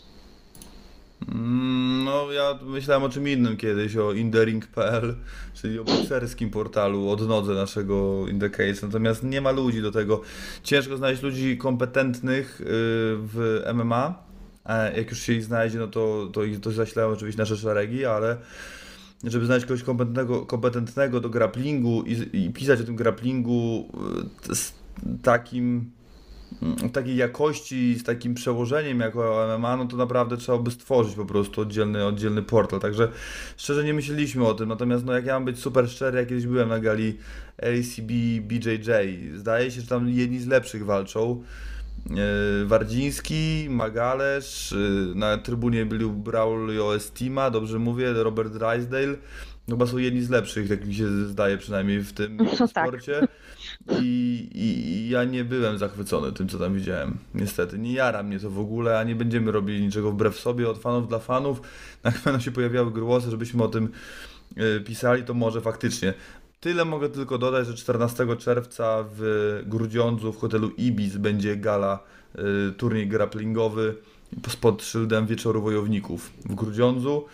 Y, i będą naprawdę duże nazwiska. No z tych ogłoszonych, no ja już znam część, y, ale nie mogę chyba jeszcze mówić, ale będą duże nazwiska z dużych organizacji polskich MMA, więc 18 nazwisk się zgłosiło chyba 9 chyba, 9, no, także będzie, będzie grubo, no. Także jak ktoś się interesuje, to zapraszam do Grudziądza, a tak jak a propos portalu, znaczy jakby pisania o tym, no to, to, to jednak odsyłam na Grapper Info. Czy są obecnie zawodnicy w amatorstwie bądź z niskim bilansem, czy ta jeden maksymalnie, jedna, maksymalnie dwie walki, których widzicie, e, aby mogli coś namieszać wyżej? Yy, Ciężka Ewelina, sprawa, żeby mówić Ewelina po prostu zawod... Ewelina Woźniak no Hubert Lotta na przykład, tak? Jest paru takich zawodników, których, e, o których można powiedzieć, że, że owszem, wiążemy z nimi nadzieję na, na przyszłość, ale... Nika Patian. O tak, Nika, zgadza się. Tylko trzeba cały czas pamiętać o tym, że e, jedna, dwie jaskółki wiosny nie czynią, tak? Mm, więc naprawdę ciężko jest powiedzieć po jednej czy po dwóch walkach, czy zawodnik, czy zawodniczka namiesza. Więc ja bym tu była bardzo ostrożna e, w tych sądach. Coś więcej o mistrzach Cage Warriors typu Short, Truman bądź w wyższych kategoriach jakieś plany bądź zestawienia. E, Cage Warriors jest mega mocną organizacją na rozwój dla zawodników KSW, tym bardziej, że Solicz był tam mistrzem, o ile się nie mylę. Się nie mylisz, zdobył pas i za, za chwilę przyszedł do KSW, natomiast jeśli chodzi o Cage Warriors, to faktycznie jakieś informacje u nas na portalu przeczytasz, ale to są zazwyczaj informacje autorstwa Bartka Olesia, więc y, myślę, że Bartek się tutaj lepiej y, w tej organizacji orientuje. Ja z ręką na sercu powiem, że nie śledzę, chyba że walczy tam ktoś z Polski, albo są rzeczywiście walki, pojedynki o, o, o pasy. Jakoś nigdy mnie nie jarało to Cage Warriors, nie wiem, jakoś nie, nie wiem co chodzi. A ty? No, ja już mówiłem wielokrotnie, że dla mnie jednak ładunek emocjonalny pojedynku jest istotną kwestią. To jest jedna rzecz, więc jeżeli zawodników nie znam, no oczywiście tam nie jest tak, nie ma znanych zawodników, są No oczywiście. jasne. Natomiast y, no po prostu nie, nie niektóre, niektóre z tych pojedynków po prostu mnie nie kręcą. No, ja, ja potrzebuję tego MMA na absolutnie topowym poziomie. Ja wiem, że takie znajduję czy w Cage Warriors, czy w ACA i tak dalej, i tak dalej. Natomiast jakby ja nie najzwyczajniej w świecie po prostu nie jestem w stanie znaleźć e, czasu, aby oglądać UFC czasami, to więc e, tym bardziej jest problem, aby na, nadrabiać czy oglądać to Cage Warriors. Nadrabiać łatwiej, no bo wiadomo, jak coś, jak do- dowiemy się, że była świetna walka, no to ją nadrabiamy, ale jeżeli tak nie jest, no to zazwyczaj tak się nie dzieje. Po prostu jest tego zbyt dużo, żeby być ze wszystkim na bieżąco, no więc po prostu wybieram tam, gdzie najbardziej mnie to interesuje. No, no oczywiście wstyd trochę, żebyśmy się tak super nie orientowali, no ale z drugiej strony naprawdę z ręką na sercu nie ma już czasu, yy, ale po to jest nas tyle osób w redakcji, Właśnie o żeby to chodzi, każdy gdzieś tam jest- coś, coś tam swojego ogarniał i tak jak mówię, jeśli szukacie informacji o Cage Warriors, to polecam yy, wpisy Bartka przede wszystkim, o który gdzieś tam się tym zajmuje, nawet mu dzisiaj yy, mówiłam, że Cage Warriors nikogo, no więc teraz będzie miał powód, żeby mi powiedzieć, że nie mam racji. Em, Okej, Ernest y, Dziubiński. Czy zakładając tę grupę myśleliście, że osiągnie tyle członków, ponad 15 tysięcy i czy jesteście zadowoleni z tego, jak się rozwija? No to ja się wypowiem pierwszy, uważa, uważałem, że to w ogóle nic z tego nie będzie. Pamiętam. Pamiętam. Słuchajcie, no grupa powstała e, po to, żeby wspierać e, osoby, które były zainteresowane wydarzeniem w postaci UFC Gdańsk. I taki był cel tej grupy. E, I też perspektywa czasowa, taka, że po gali UFC, kiedy już sobie się podzielimy jakimiś wrażeniami i tak dalej, to grupa zostanie rozwiązana. Ale grupa szybko się gdzieś tam rozwinęła do dwóch czy trzech tysięcy osób. I po tej gali ciężko było powiedzieć, co z tą grupą zrobić, bo z jednej strony szkoda było tą grupę rozwiązywać, tak, i ją likwidować, bo jednak fajne dyskusje się toczyły. Gdzieś tam od samego początku mieliśmy e, paru moderatorów, którzy dbali o poziom dyskusji i o to, żeby tu nie było jakiegoś trollowania, hejtu i tak dalej. E, I nawet poszło pytanie na grupie tak naprawdę, co, co, co byście powiedzieli na to, gdybyśmy się przekształcili w taką grupę, która będzie rozmawiała o MMA, o MMA, podkreślam, bo dzisiaj miałam dyskusję na temat tego w każdym odcieniu po prostu, czyli nie będzie tylko grupą o UFC, nie będzie tylko grupą o KSW i tak dalej, i tak dalej. No i ludziom się ten pomysł spodobał, więc e, poszliśmy w to i ja się nie spodziewałam, że to się tak rozwinie, przyznam szczerze, ale to jest mega dużo pracy e, osób, które administrują i moderują tą grupę i mega dużo zainteresowania po prostu z waszej strony i zaangażowania i kom- komentarzy i wrzucania postów i tak dalej, i tak dalej. Czasami po prostu e, jesteście szybsi e, od portali branżowych i wrzucacie tutaj po prostu newsy trzy sekundy po tym, jak one się ukażą gdzieś tam na przykład na stronie oficjalnej organizacji. To jest mega zajebiste, bardzo mi się to podoba. E, Wspólnie tworzymy tą grupę. Ja myślę, że będzie nas jeszcze więcej. E, Dzisiaj doda dodaliśmy kolejnego moderatora, bo już się robi naprawdę ciasno i, i jest coraz więcej roboty po prostu przy, przy tej grupie. E, Liczę na to, że kolejne 15 tysięcy nam pyknie też nie gdzieś tam za 8 lat, tylko szybciej. No i tyle. Mm, Fajnie, fajnie Ernest, że, że mm, pytasz o tą grupę, bo, bo to jest coś takiego, taka nasza perełka trochę, no nie? więc bardzo, bardzo o nią dbamy. No niewiarygodne jest to, że więk... a propos po... niektórych newsów, które puszczamy u nas na fanpage'u i na grupie, y, odzew jest kilkukrotnie większy na grupie. No. Mhm, zgadza się. Mimo, że 10 tysięcy mamy więcej fanów na fanpage'u. Mhm, mhm.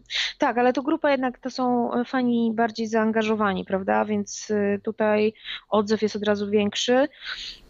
A, co mi się podoba, to jest jeszcze jedna rzecz. Y, Ostatnio zadałam Wam pytanie na grupie, czy wprowadzić ograniczenie wiekowe, i mnóstwo osób podniosło taką kwestię, że czemu za, za to, że tam zdarzają się jakieś dzieciaki, które mm, za, zamieszczają głupie komentarze, na przykład ten Boże, flagowy pod postem z pytaniem o następnego przeciwnika dla Mateusza Gamrota. Z kim byście widzieli Mateusza Gamrota? Z twoim tatą. Tatą, OM. Już myślałam, że sobie strzelę w łeb. Y, I nagle się okazało, że mamy na grupie mnóstwo zapaleńców, y, młodszych dzieciaków, którzy, no tak mogę powiedzieć, tak, Młodzież. 14-15-latków, Przyszłość, którzy- przyszłość tego sportu.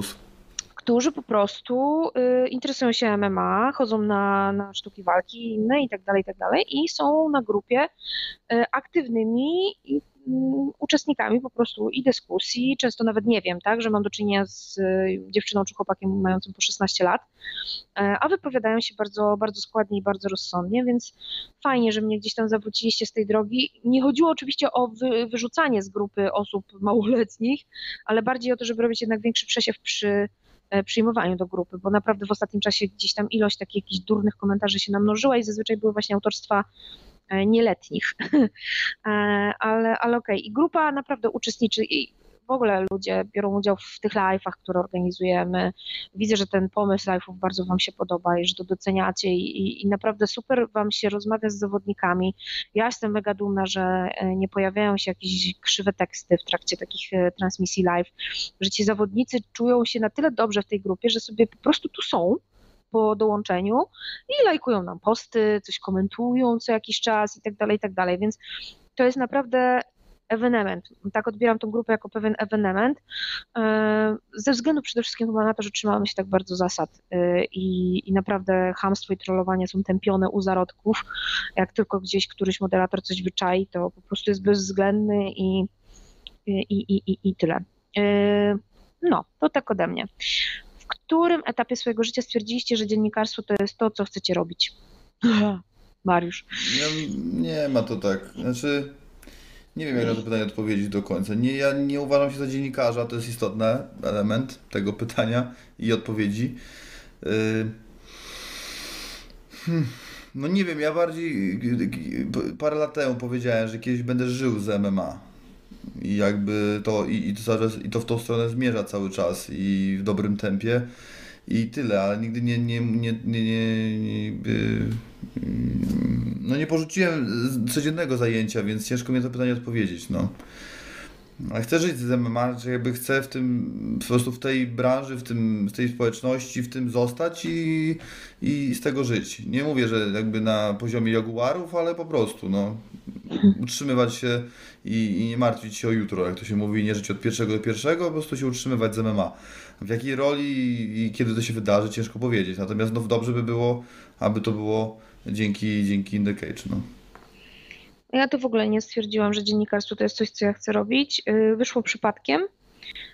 Zgarnęli mnie chłopaki z Twittera. Y, zaczęłam coś pisać, potem się okazało, że y, umiem złożyć zdanie również w trakcie jakiegoś tam wywiadu mówionego, a nie tylko pisanego.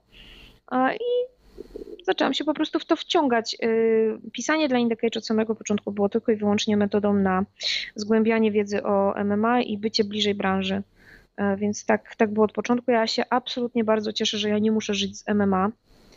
E, I myślę, że tak pozostanie, że, że nie będę się utrzymywać tylko z MMA, albo inaczej, nie będzie to moje główne źródło dochodu. Nie chciałabym, żeby było, ponieważ nie chciałabym w pewnym momencie mojego życia zostać zmuszoną do tego, żeby y, pisać albo jeździć na gale organizacji, o których wolałabym jednak milczeć, mimo że się klikają i dają dobry pieniądz. Także to tyle. Nie? Wiadomo, jak chodzi o pieniądze, no to już ludzie trochę inaczej myślą. Ja muszę teraz dodać taki, e, e, taki jedną ważną techniczną rzecz, ponieważ e, urwało nam w pewnym momencie nagrywanie więc, a ja nie jestem w stanie teraz Wam odpowiedzieć, w którym prawdopodobnie to maksymalnie około minuty ucięło, także jeżeli na Wasze któreś z pytań nie odpowiedzieliśmy, to bardzo prosimy zadać je w następnym odcinku. E, zorientowałem się w trakcie Twojej odpowiedzi, Martyna, a propos trenera Oknińskiego. Aha. Także być może będzie jakieś pytanie. Tak, no ponieważ mój y, program po 20 minutach prosi o potwierdzenie, że nadal jest nagrywane, no bo nie jest przyzwyczajony do tak długich nagrań. No. Więc y, kawałek mogło moj, moj, mojej wypowiedzi, któreś tam mogło uciąć, także nie ma od którego momentu, także jak któreś, na któreś pytanie nie odpowiedzieliśmy, no to bardzo prosimy, żebyście je zadali w kolejnym odcinku. E, a my lecimy dalej w takim razie. E, Mak Więckowski. Nie sądzicie, że po ogłoszeniu rywala Strusa na ACA Svetlozara Sawowa objawiła się hipokryzja polskich fanów MMA, którzy nagle uważają Sawowa za mocnego zawodnika, kiedy ten sam zawodnik był kontraktowany przez KSW, był uważany za leszcza i słabego zawodnika. Coś w tym jest, moim zdaniem. Mm, ja akurat nie jestem jakimś wielkim, znaczy jakby nie uważam, że Svetlozar Sawow y, był wielkim wyzwaniem dla Piotra Strusa, aczkolwiek no, pokonał trzech rywali po Antku Chmielewskim. Też trzeba pamiętać, że Antek Chmielewski jednak znokautował Sawowa, no nie że przypadkiem, no ale podczas obalenia uderzył go, jakby upadł na niego barkiem i to spowodowało knockout na Sawowie. I to było jedno z jeden z największych skalpów Antka Chmielewskiego w jego karierze, prawdopodobnie nawet. Sawow sobie radzi całkiem nieźle od, tamtego poru, od tamtej pory.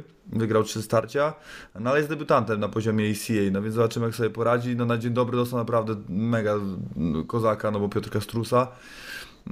Więc faktycznie E, znaczy, jakby tendencja a propos rywali zagranicznych na KSW zawsze była taka sama. Jak zawodnik z zagranicy trafiał na KSW, na pewno było górem. Na pewno był po to, żeby sobie na nim ktoś nabił rekord. No, nie, dziwne jest to, że to się nie zmieniło po Roberto Soldiczu, po Antonie Raciczu, po Drikusie Duplessisie, po Normanie Parku, yy, czy po Kleberze, Saladinie i tak tak. No ale jeszcze taka tendencja się utrzymuje, mam nadzieję, że się kiedyś zmieni. Co ty byś dodała do tego. No zdecydowanie tak. Trzeba też pamiętać, że jak był kontraktowany dla KSW, to był 2016 rok, więc od tego czasu też się trochę zmieniło. E, to nie jest leszcz e, pierwszy lepszy i nie można tak mówić, że, że, że jest leszczem, więc fajnie, że fani jednak mówią o nim lepiej niż mówili kiedyś. Ale jest taka reguła, że bardzo modne jest hejtowanie KSW i w cool jest bycie anty-KSW, więc jeżeli pojawia się jakiś zawodnik w postaci nowego zaciągu do, do KSW gdzieś tam, skądś tam, no to na pewno jest brazylijskim królem nokautu, y, a tak naprawdę mm, Renato Penzino, Gurinho do, do obicia, tak? Więc jest spora prawda w tym, co, co, co piszesz. Mati Boss 90. Jak widzicie starcie Hermanson versus Jacare Souza? O Boże, Powiedziałabym, że mismatch, chociaż no, kurde, ciężko tak powiedzieć, bo przecież jakby nie patrzył, to y, Hermanson wy, wygrał ostatnie 3 czy 4 walki, tak? Więc, y, więc tak nie do końca jest to mismatch. Natomiast naprawdę Hermanson to był chyba 17 wybór po tym, jak wypadł z walki Costa, jak wypadł Romero, tak gdzieś tam pozamieniali miejscami, bo przecież Jacare wpadł za Costa i tak dalej. E, nie wydaje mi się, żeby to był taki pierwszy wybór organizacji UFC na przeciwnika dla Jacare. E, jestem zdania, że Jacare powinien to bez większych problemów ogarnąć.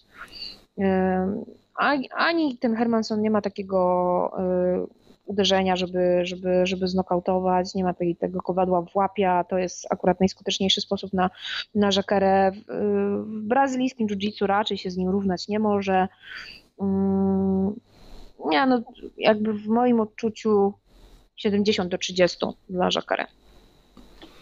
No, ja przychylam się typowi na żakarę procentowo nie będę go rozkładał. Hermanson, żaden nie ma pełnego obozu przygotowawczego, ale Hermanson nie dość, że go nie ma, to jeszcze jest bezpośrednio po walce i to jeszcze bardziej utrudnia mm, przygotowanie się, także no, stawiam na Jakarę, no nie, no, na pewno umiejętności ma wyższe, no, ale jest jakaś minimalna szansa, że Hermanson sobie faktycznie z nim poradzi, no zobaczymy, to będzie dla niego wielki test, no.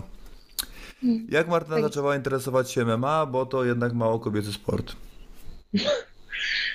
Pudzianowskim przyszłam do MMA, słuchajcie. No, byłam fanką strongmanów. Ja zresztą zawsze powtarzam, że jestem fanką wagi ciężkiej i uwielbiam zawodników z ciężkiej, więc y, jak y, Mariusz Pudzianowski robił spacery, spacery drwala i tam ciągał pociągi i tak dalej, to, to generalnie jeździłam po tych imprezach i tak dalej. Oglądałam na żywo y, i potem nagle okazało się, że, że Pudzian chce iść bić w klatce, więc pierwszą galę obejrzałam z zainteresowaniem. E, no i potem dwie czy trzy kolejne gale KSW e, potwierdziły, że tak naprawdę to jest coś, co mi się podoba. E, I, a więc w MMA znalazłam się przez KSW, a potem z czasem zaczęłam się interesować innymi organizacjami. No i dwa i pół roku temu trafiłam do In Cage, gdzie już jakby z racji nadania interesuję się tym wszystkim jeszcze bardziej, jeszcze głębiej, jeszcze, jeszcze częściej. I tyle. Czy mało kobiecy sport? Ja wiem, spójrz na dziewczyny, które się biją. E, nie uważam, żeby to był mało kobiecy sport. Czy sądzicie, że Patryk Surdyn dałby radę w KSW z Raciczem, Polityło czy choćby Przybyszem? No tu duży rozstrzał dałeś bardzo, więc ciężko powiedzieć, ale myślę, że poradziłby sobie w KSW. Tak, zdecydowanie. Znaczy Myślę- nie, nie, myślę. nie odpadł, nie zaliczyłby trzech porażek z rzędu i by nie wyleciał. To mam na myśli. No. A czy Tak był mistrzem, no ciężko będzie przejść Racicza, który mistrzem nie jest, no, ale jest najlepszym zawodnikiem w tej chwili w tej organizacji. No. Co dalej z Andryszakiem, jakby nie było najlepszym polskim ciężkim poniżej 30 roku życia? No mam nadzieję, że wystąpi na, na najbliższej gali KSW. Tak naprawdę prawdop- jest duża szansa na to, że Andryszak to jest jedyne remedium na Philadelphia. Mimo, A wbrew to- temu, co się stało w pierwszej walce. Wbrew temu, co się stało w pierwszej walce. No, Więc zgadza. yy, no, liczę, że Andryszak wystąpi na gali yy, 4 49. No nie widzę innej opcji, no bo ta przerwa już trwa zbyt długo. Mm, czy nie uważacie, że KSW zamiast robić walkę Akop versus Jun powinno sprowadzić jakichś dwóch solidnych półciężkich, bo przecież ta waga u nich leży kompletnie. Więc moim zdaniem e, nie, jedno nie ma związku z drugim. Znaczy walka Akop Jun może powstać, a niezależnie od tego warto sprowadzić solidnych półciężkich. No, o ile się nie mylę, ta walka nie będzie w tej kategorii. yy, Nie, Akop y, z Junem walczą w ciężkiej. No właśnie. Więc, yy, więc nie no, uważam, że nie mam problemu z tym zestawieniem, jakby rozumiem jego se- sens dla KSW, natomiast co do jakby kolejnych wzmocnień w kategorii półciężkiej absolutnie powinny one nastąpić. Grzegorz Kwiatkowski, jak myślicie, dlaczego jako Przostak nie rozumie, że to w nim jest problem, skoro jest bardziej hejtowany nawet niż Najman czy Oświę- Oświeciński?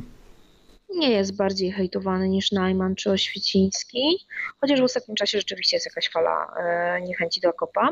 Natomiast moim zdaniem ta fala niechęci do Akopa bierze się z jednej przyczyny.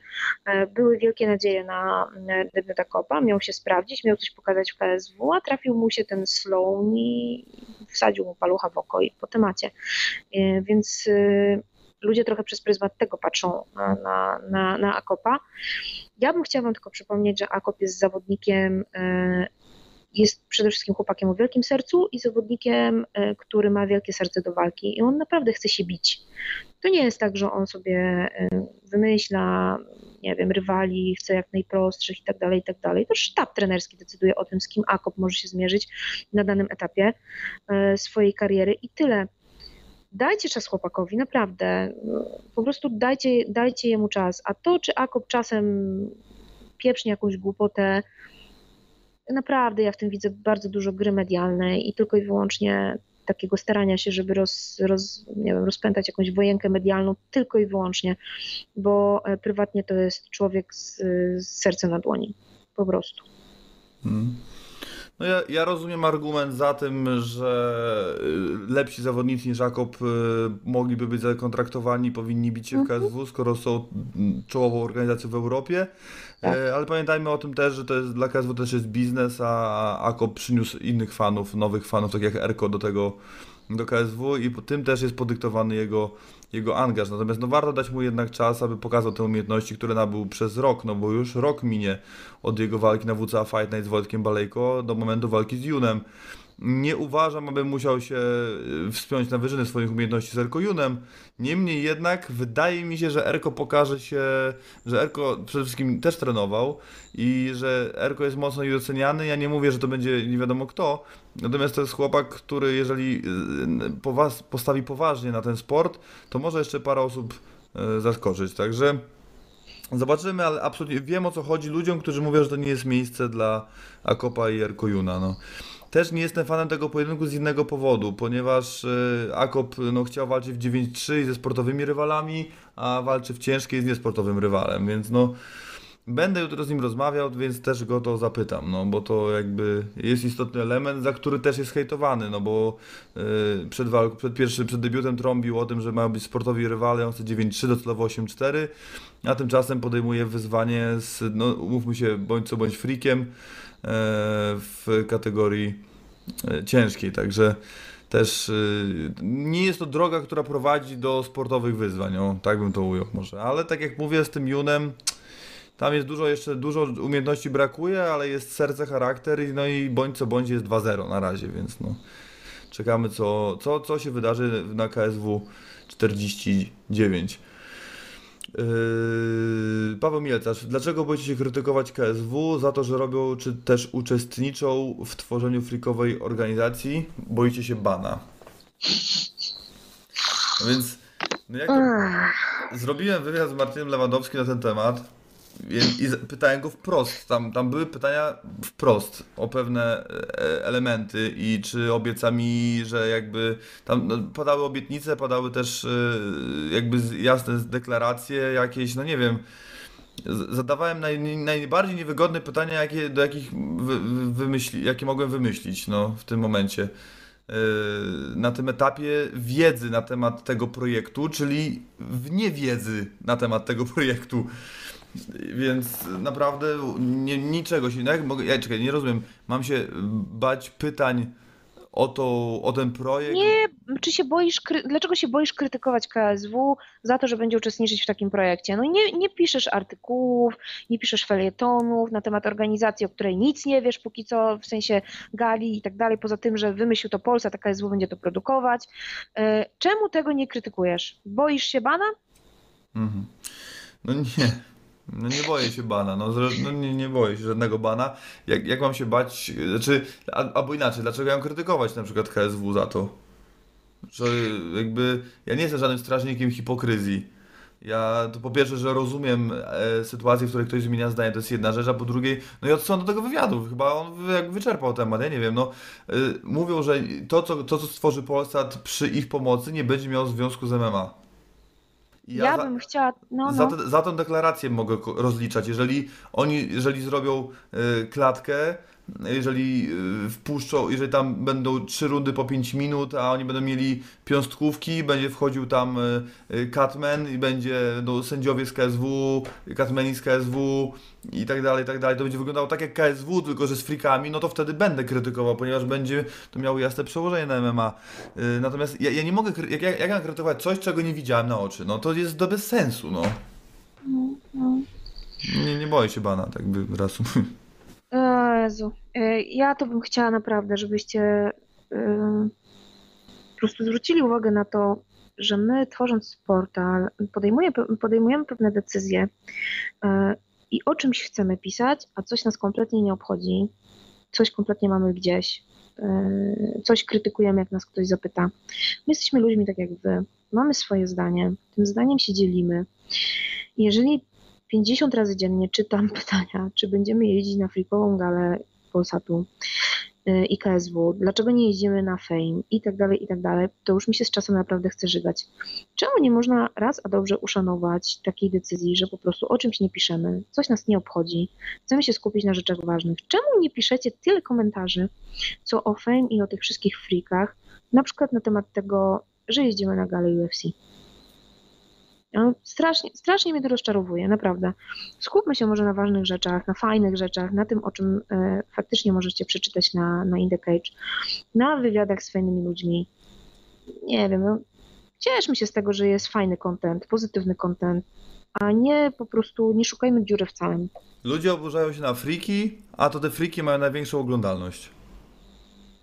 Tak, no tak jest, no ale widzisz, y, nie jeździsz na Fame? Nie jeździsz. Masz zamiar jeździć na Fame? Nie masz zamiaru jeździć. Dlaczego? Przecież kręcą odsłony. O co chodzi? No ale no nie, nie, nie, nie, jakby nie chcę, Indicage nie będzie promowało patologii, no. Znaczy nie chcę tego tematu rozwijać, ja już się wypowiedziałem na ten temat i nie chcę tego tematu poruszać więcej. Po prostu w chuju to mam, taka jest moja decyzja i wam wyjebane i nie muszę się tego O to tłumaczyć. chodzi. Bo to jest, Właśnie to- to jest o to chodzi. który tworzę, nie muszę się tłumaczyć z pewnych decyzji, z tej decyzji nie będę tłumaczył. Ja już powiedziałem, jeżeli ktoś nie widzi różnicy między jednym frikiem na 9 walk, a dziewięcioma na 9, no to trudno, to jest jego kurwa problem, no. I o to mi chodziło. Chodzi po prostu o to, że podejmujemy pewne decyzje, na coś się decydujemy, o czymś chcemy pisać i na tym się skupiamy. Więc skupiamy się na tym, co fajne i to jest tyle. A jak będę chciał pojechać na galę frikową Polsatu, to będę i tam siedział i będę robił live'a z tej gali, zrobię y, 300 wywiadów, kurwa. Jak będę miał taką ochotę, to to zrobię. Ja pierdolę. I nie będziesz miał takiej okazji, bo cię zapędzę do garów. Nie, Naprawdę. Albo do odkurzania, Po prostu, no. albo prasowania, Ja, jak będziesz ja dalej tak powiedziałem, ten. fa fani, fani. My to robimy dla fanów. I koniec. Jeżeli fani będą chcieli wywiady z takimi a takimi ludźmi, to takie wywiady się pojawią. Ale ja nie mówię o sześciu czy ośmiu fanach. Jest ich kilkadziesiąt tysięcy, także yy, naprawdę to jest, jakby ja odsyłam na portale, które tam jeżdżą, są portale, które tam jeżdżą i tam można te materiały znaleźć i poczytać. Nie ma najmniejszego problemu. Nie ma tak, że jest próżnia i ktoś, niech ktoś pierwszy o tym zacznie pisać. No nie, nie, nie ma z tym problemu. Można te informacje odnaleźć. I zapraszam. Zresztą ci ludzie prężnie działają na tyle, aby można było te informacje bez problemu mm, e, uzyskać. I tyle. Jeżeli ja wewnętrznie nie będę jakiegoś konfliktu wewnętrznego, żeby jeździć na jakąś galę, to będę na nią jeździł. A jeżeli ja sam ze sobą czuję, czułbym się źle jadąc tam, to nie będę. To jest proste. To są takie mechanizmy wewnętrzne. No po prostu. Jedni na przykład są wege, bo nie, nie wyobrażają sobie, że przez nich umiera jakaś krówka. A ja nie mam z tym problemu i żrę 400-gramowe burgery. I nie na, i każę tym ludziom, co jedzą wege, jeść te burgery. Niech sobie jedzą te burgery wege z tym serem halloumi, nie ma problemu, też je lubię. I nie każdy je to, co chce, ubierać tak jak chce i ogląda gale, jakie chce i jeździ na gale, jakie chce. To jest bardzo proste. My nie jesteśmy po- y, instytucją pożytku publicznego, no.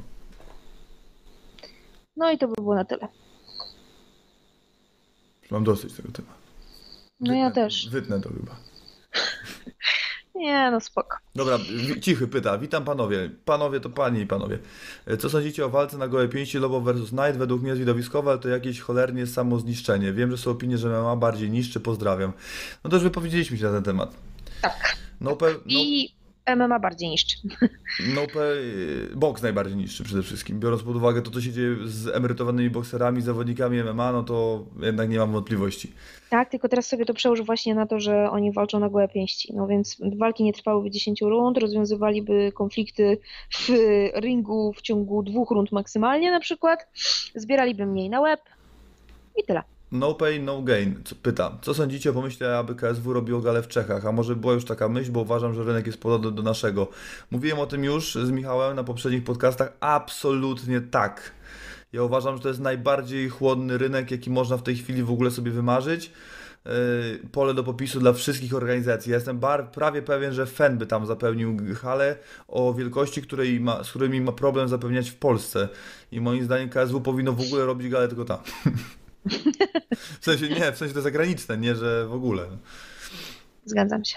A na pewno muszą spróbować. Moim zdaniem gala w Serbii jest chybionym pomysłem. Lepiej zawieźć tych wszystkich y, Serbów, Czarnogórców, Bośniaków y, i Chorwatów do Czech.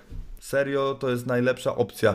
Nie ma tam, y, y, nie wykopiemy tam wielu talentów na poziomie KSW prawdopodobnie, ale to nie ma znaczenia. Wystarczy wozić tam swoich zawodników i po prostu robić tam galę, no bo ga- gala w Pradze UFC pokazała, jak ten rynek jest chłodny. To jest coś niewiarygodnego, także absolutnie tak. Dublin rozczarował, a było, była mowa, że Irlandia taka chłodna na MMA i w ogóle dzięki Conorowi, a okazało się, że nie do końca 10 tysięcy i to w hali, która może mieć więcej, ustawione na 10 i też nie było kompletu takiego, że bilety zostały sprzedane e, przed, w, przed sprzedaży tak zwanej, czyli przed rozpoczęciem gali, także Czechy absolutnie tak.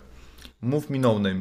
Jak, ja tylko napiszę. Maciej Kieszkowski. Co dalej? Dalej armia, czy ale mocny rywal, czy zmiana organizacji? Dopisaliśmy już o mówiliśmy już o tym. Yy, Maciej Firma. Pytanie nie nawiązujące do gal, które były lub które się zbliżają, ale myślę, że będziecie mogli pomóc. Wiecie, gdzie w Polsce można zrobić kurs na sędziego do MMA? Pozdrawiam mam nadzieję, że ten podcast potrwa 3 godziny. Będzie idealnie do odsłuchu w pracy. No tak, jest taka szansa. Co do kursu na sędziego MMA, to proszę pisać do Łukasza Bosackiego. Łukasz Bosacki organizuje takie kursy.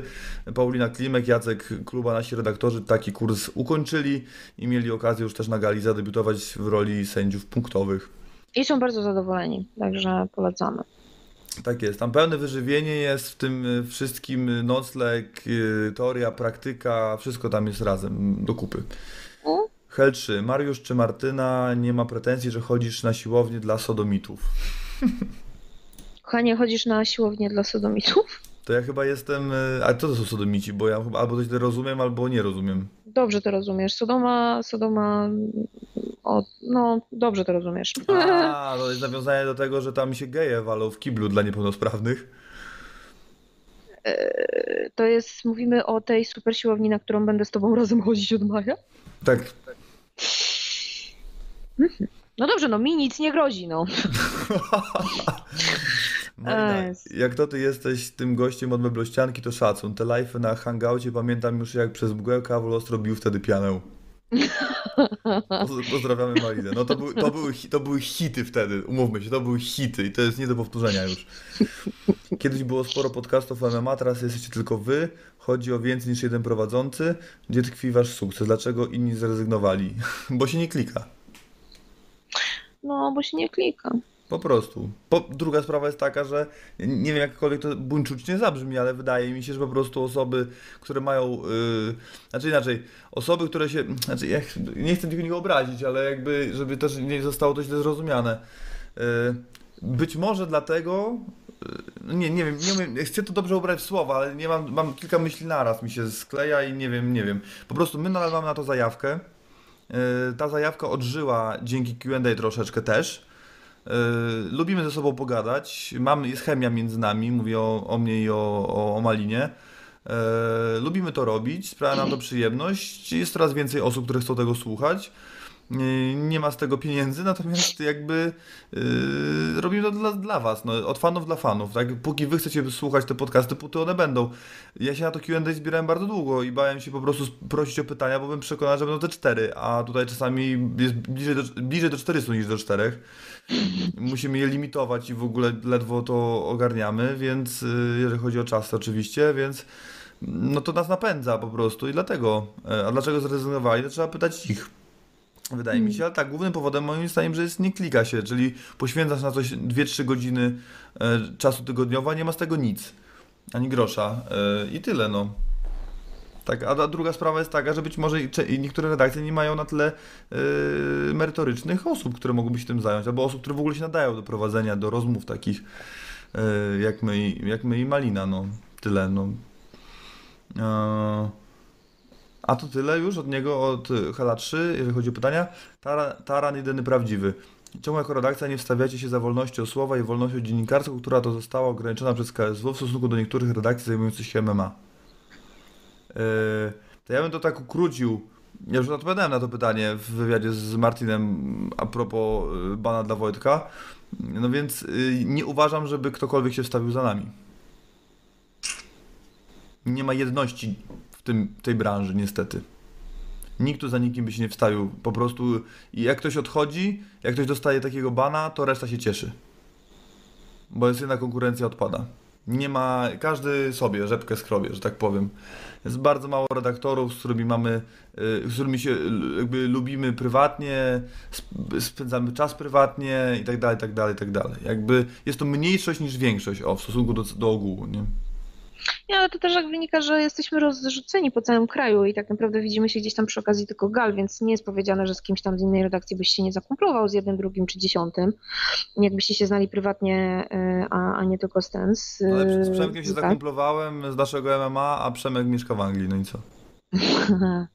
A Przemek to jest w ogóle y, wyjątkowa istota generalnie. To jest następny człowiek, który w ogóle branżę pomylił, tak mi się wydaje, bo to jest wyjątkowo wredna branża, a, a Przemek po prostu jest y, człowiekiem z, serduchem na dłoni i, i to jest coś, coś niepasującego wręcz. Y, No natomiast co, jakby odpowiadając też na to pytanie, jeśli ja mogę dorzucić swoje trzy grosze, Możesz, możesz. a chętnie, a chętnie to zrobię.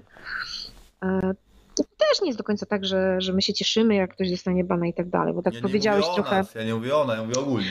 Nie, ale podpowiedziałeś tak, wiesz, tak jakby trochę generalizując, no nie? E, Chodzi po prostu o to, tak jak powiedział Mariusz, że jakby In the Cage dostało bana, to cała reszta y, byłaby z tego tytułu zadowolona i nikt by się za nami nie wstawił. I ja rozumiem, że oczywiście to nie po chrześcijańsku, zasada wzajemności i tak dalej, i tak dalej, tylko my wiemy pewne rzeczy, których, które nie są gdzieś tam do publicznej wiadomości podane i pewne sytuacje mają dla, dla nas troszkę inny wymiar niż mogą mieć tak ogólnie. E, I po prostu niektóre rzeczy, wbrew pozorom, mogą nam nie przeszkadzać, bo wiemy, jakie jest drugie dno. Zresztą wypowiedział się, y, ja mm, wiem, że rozumiem o co chodzi, że powinniśmy być po tej samej stronie jakby z kolegami z branży, ale akurat ja w, te, w, w, w tej parze, że tak powiem, y, bardziej rozumiem stanowisko KSW, no. Przychodzić, zapraszasz kogoś do siebie na galę, to jest prywatna impreza, to nie jest Sejm, gdzie y, muszą, tam dziennikarze chodzą, a y, ci politycy muszą im odpowiadać, bo jak nie odpowiedzą, to już wiadomo, że coś jest nie tak. To jest prywatna impreza. Zaprasza się tam umow, umownie dziennikarzy i to, umow, to jest umowna dyscyplina, bo to jest nadal impreza rozrywkowa, tak jak koncert, to nie jest dyscyplina sportu prawnie, jakkolwiek. I ktoś ci robi cały czas pod górkę. Ty go wpuszczasz do siebie do domu, bo tak to wyglądało w tym wypadku, a on ci po prostu wynosi informacje i obraca je przeciwko tobie i psuje ci biznes. No, każdy na, na miejscu e, szefa takiej firmy by był zirytowany i podziękowałby za, za zapraszanie takiego gościa. No. Trzeba to trochę, o, trzeba się postawić w drugiej strony, ale wiem, czego oczekiwa- oczekiwał wtedy, czy teraz w swoim wypadku fani, że powinniśmy postawić się po stronie kolegi z branży. Ja to rozumiem, ale ja, by, ja staję zawsze po obu stronach i, i, i tyle. No. Eee, Łukasz Urbański. Witam. Ostatnia gala AFN 5 wypadła całkiem spoko sportowo. Czy uważacie, że wypaliby taki układ między KSW i AFN? Na przykład wysyła, KSW wysyła swoich zawodników na odbudowę na galę AFN, a odwrotnie KSW wyławia tych najlepszych, dając im szansę, by zajść, by zajść na swoich galach. Można by czasem wypromować jakieś nowe gwiazdy czy to są mrzonki i, i jest to niemożliwe. No myślę, że jest, no trochę tak z TFL-em chyba to wygląda, chociaż do końca nie wiem, czy będzie działało. Jeszcze nie wiadomo, jak to wygląda, Czy nie? Stronę to działa też. No właśnie. Nie, wydaje mi się, że AFN y, ma już na tyle zaplecza, jeśli chodzi o właśnie mm, chociażby partnera telewizyjnego poważnego, że może sobie próbować działać samo i y, trochę marnowaniem potencjału byłoby w tej chwili służenie za y, zaplecze dla, dla KSW. Rozumiem, że mogłoby to zadziałać, ale pewnie działałoby to tak jak w przypadku Invicty i UFC. Co się w Invictie jakaś fajna mistrzyni e, ugruntuje, w sensie przyjdzie dziewczyna, zawalczy ze dwa, trzy, cztery razy, zdobędzie pas, obroni go raz i ciach jest porywana przez UFC, tak? Budujesz sobie zawodnika i ten zawodnik, który ma ci budować oglądalność, nagle znika, bo idzie do e, twojej, e, do twojego mentora, tak? Do organizacji, która ci patronuje i tak dalej. A ty w zamian za to dostajesz zawodników z trochę bardziej zbudowanym nazwiskiem, ale po trzech przegranych.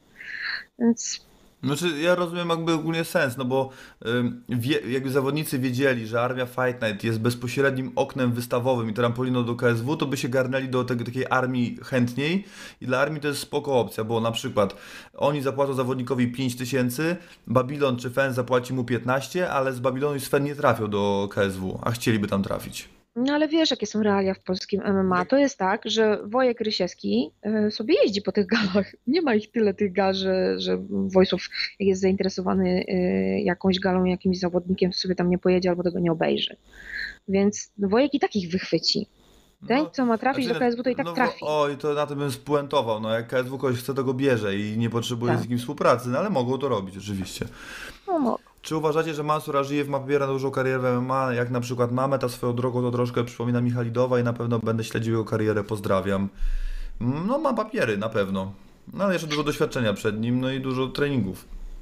Nie no, mówiliśmy o Mansurze. Ja też się rozpływam. Nie, nie mówię, że może wsiadam do hype trainu, ale, ale tak, jestem bardzo, bardzo pod wrażeniem tego chłopaka i będę go obserwować na pewno, więc w dobrą stronę idzie. Ciekawy, y, ciekawy mm, nickname. Tipsy Mariusza. O, a dobrze, że nie kosmetyczka. Czy, czy Tomasz Drwal nie walczy przez kontuzję, czy też po prostu już nie chciał walczyć? Chyba mu się odechciało MMA. Tomasz Drwal, zapytamy go. Kontuzje o kontuzjami, ale chyba tam mu się odechciało trochę już. Słuchajcie, z drugiej motywacji. strony, jak cię ciągle coś boli, ale to ciągle i ciągle ci się odnawia jakaś kontuzja, a masz z boku własny interes, klub i tak dalej, i tak dalej, w którym możesz się realizować, a ja wiem, z czego się śmiejesz. Nie, ja się śmieję z czego innego, bo jak na przykład są, jak są hejterzy i ich cały czas dupa boli, to czemu nie przestają hejtować? No fajne. E, To jakby wracając do Tomasza Drwala, w którymś momencie może się odechcieć. I nawet jakby ci się chciało wejść do tej klatki, to wiesz, że kuźwa, jak wyjdziesz z tej klatki, to później przez rok znowu będziesz coś leczył. Jak nie plecy, to nogę, jak nie nogi, to, to ręce i cokolwiek. Więc kwestia chyba po prostu zdroworozsądkowego podejścia. Ale słuchajcie, no, wychodzi na to, że będziemy prawdopodobnie e, w niedługim czasie mm, w szkole walki, Drwala, więc y, postaramy się zapytać pana Tomasza o to osobiście. Też uważacie, że Paulo Tiago powinien dostać jeszcze szansę w KSW? Taki gość na Ilicza czy Janikowskiego za jakiś czas byłby fajny. Trochę podzielił losy Wolheada i Redmonda. Paulo Tiago, aha dobra, 8-4 walczy z Materlą. No to tak się fatalnie pokazał, że nie wiem, czy to jest spoko opcja, ale jeśli już, no to dla Janikowskiego faktycznie mogłoby być to jakieś rozwiązanie, no. No, Stiago to jest chyba taki starowinek, to No, po co to go? też prawda, no to akurat taki No. średni pomysł. Tak jak ten Joey Maguire, też tak ten i tak samo. No, Johna to na pewno bym nie widziała z powrotem. Pezinho Gomez, no. Tak, tak, zdecydowanie. Nie pokazał nic jakby, więc no jakby w ogóle nic, nic. No tak jak Vinicius Borer też mała szansa, że cokolwiek. No ale wiadomo, po co był Borer ściągany, więc jakby nie ma co. Mariusz, od której walki tak śledzisz Overima i jesteś jego fanem? Była jakaś konkretna walka, czy po prostu zajarała cię ta postać? I jedno i drugie, czyli postać oczywiście też mnie zajarała. Nie śledzę go od Pride'u. Yy, Pierwszą walkę, którą widziałem na żywo, to była walka z Verdumem. Yy, na pewno, bo jak, pamiętam, że jak już walczył z Lesnarem, to już się jarałem opór i to już nie mogłem się doczekać. Więc y, walka z Verdumem, no i widocznie musiałem kilka nadrobić chyba walk. Jakoś, no kurczę, nie pamiętam. Pamiętam walkę z Verdumem i bardzo byłem, miałem straszny ból dupy o to, że ludzie twierdzili, że w ogóle, że wałek, że wygrał Verdum i tak dalej. Goście kładł dwie czy trzy rundy na plecach i zapraszał Rima. Ten nie był głupi, a jak nawet szedł do parteru i tak ten Verdum tam mu nic nie zrobił, co potem się potwierdziło w rewanżu.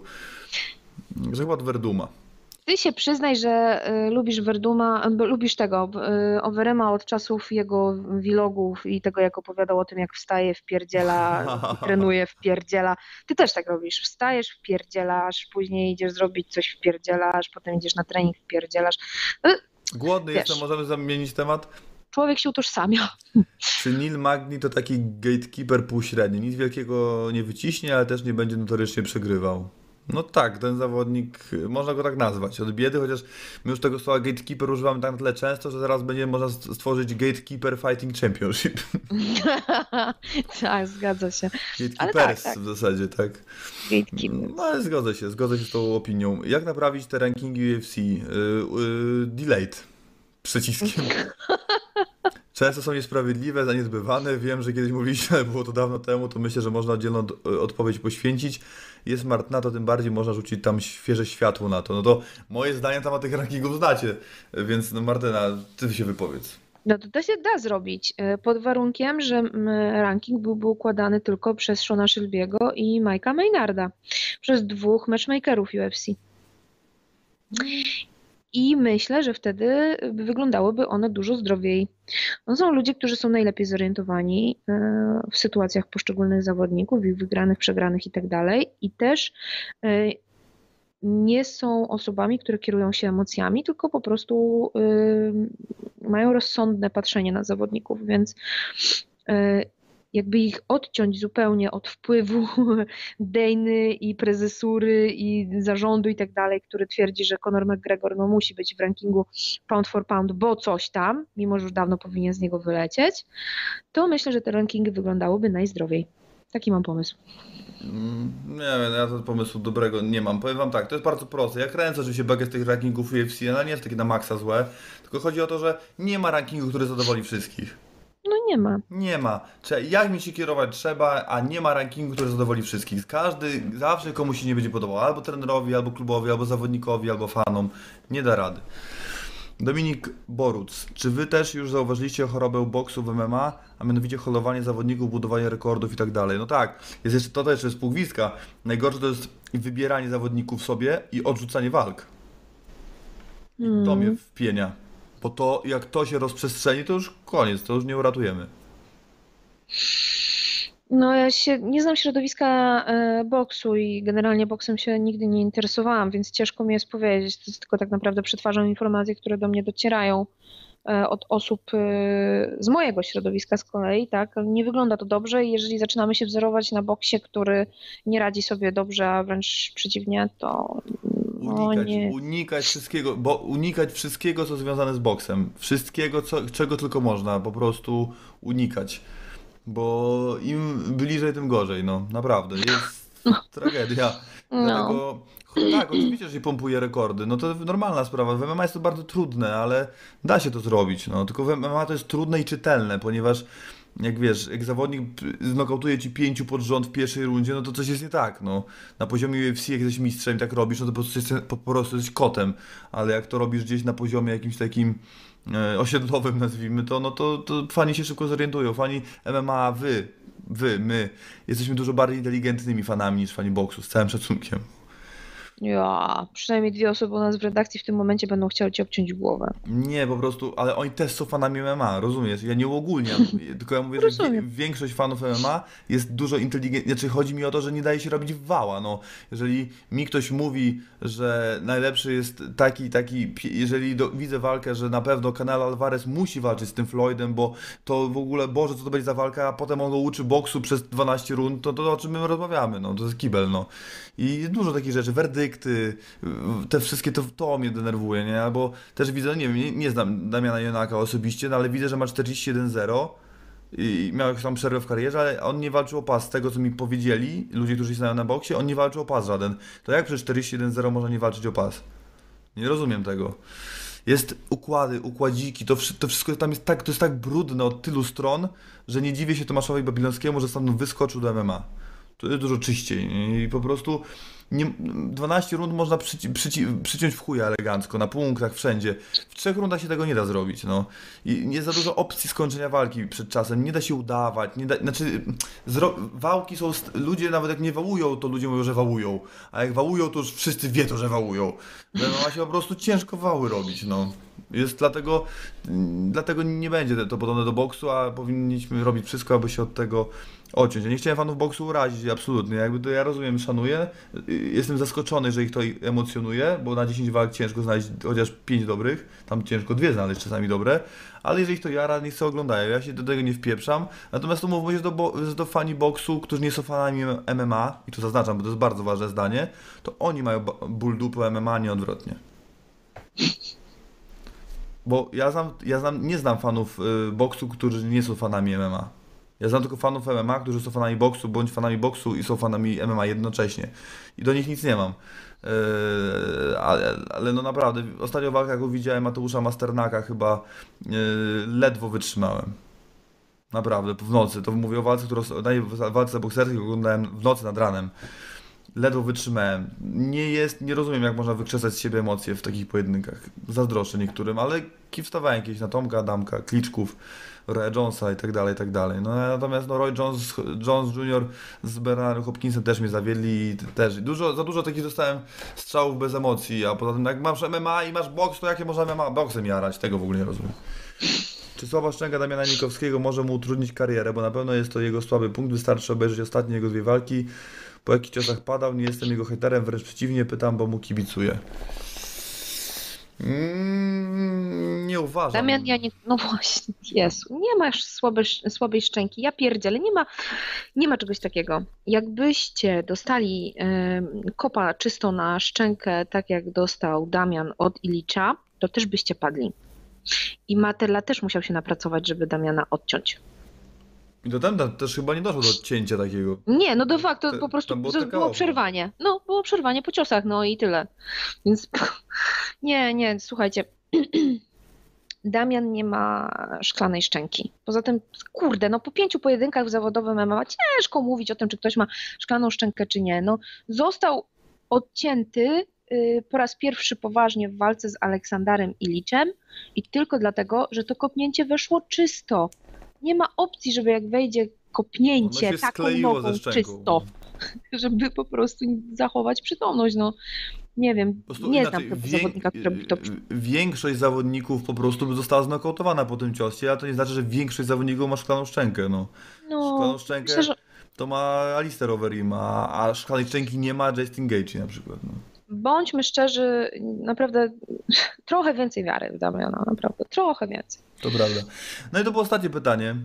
O. e, Na w ogóle w tej serii QA. E, No nie sprawdzę teraz, ile dokładnie to wszystko e, trwało, bo były dwie części, niestety, niestety, więc tak jak powiedziałem, to co tam nie weszło, na co nie odpowiedzieliśmy, zadajcie jeszcze raz te pytania, bo nie wiem, czy to były ostatnie pytania z Facebooka, czy już, czy już tylko pierwsze pytania z YouTube'a.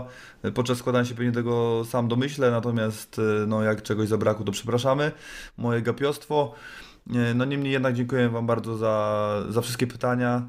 Mam nadzieję, że się ten podcast e, podobał. Tak jak mówię, nie wiem ile trwał, ale mam nadzieję że też, że podobało Wam się zastępstwo za malinę. Na pewno jakaś świeżość się wkradła. Zresztą to nie jest pierwszy podcast Martyny na MMA Tonight i na pewno nie ostatni. E, Zapraszamy oczywiście na nasz kanał YouTube. No, teraz jest 0.36. Nie wiem, czy ten podcast będę składał dzisiaj, ale jeśli tak, no to na jutro jest zaplanowany wywiad z Maćkiem Kalicińskim. Ja nie mówię zaplanowany, to w sensie na YouTube już zaplanowany. Z Maćkiem Kalicińskim, z Olą Rolą i z Bartkiem Fabińskim.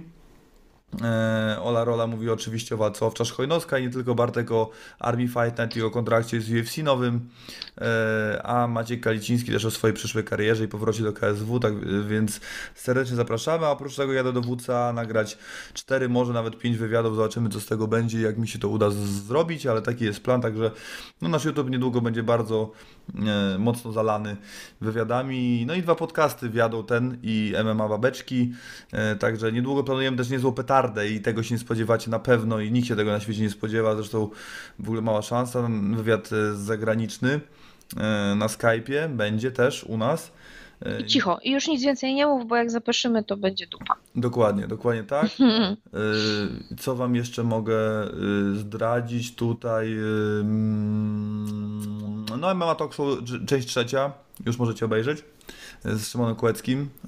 Wielu mówi, że najlepsza część, więc sami sprawdźcie. Y, W czwartek nagrywamy kolejny odcinek, ale nie zdradzę z kim, dopóki nie nagramy, standardowo. Y, Jeżeli zostaniecie naszymi patronami, to już od progu 10 zł będziecie mogli sobie obejrzeć ten odcinek dużo wcześniej. E, Więc to jest to. Mm, No i to tyle, no, chyba z takich y, ogłoszeń parafialnych. No, rzecz, która jest tak naprawdę wszystkim najważniejsza, no to to jest nasze oczekiwanie. Czekamy właśnie na wizę do Rosji. Zostały złożony wniosek, jest wszystko zapięte na ostatni guzik. Brakuje tylko wizy do Rosji. Jak dostaniemy, to powinna być formalność, to będziemy na UFC w Rosji, o czym już mówiliśmy dużo wcześniej. Tu też chcielibyśmy naszym patronom podziękować. No, nie, nie udało się jeszcze zebrać 100% naszego celu, e, ale te pieniądze napra- naprawdę bardzo nam pomogły w tym wyjeździe, także dziękujemy i, i, i dziękuję wszystkim patronom i tym, którzy już są z nami od dawna i tym nowym. Także zapie- zapraszamy e, no, kolejne osoby do, do wspierania. Tymczasem 169 odcinek MMA Tonight przechodzi do historii. Prowadzącym byłem Jalkiewicz Mariusz, a pomagała mi tym razem w prowadzeniu Martyna e, Celów. Lajkujcie nas na Facebooku, zostawcie łapki w górę, subskrybujcie nasz kanał, wchodźcie na Twitter, Instagram, wszędzie gdzie się da, tam my wszędzie jesteśmy. E, Także ja Wam dziękuję i Martyna z pewnością też. Trzymajcie się. Dobranoc. Dobranoc.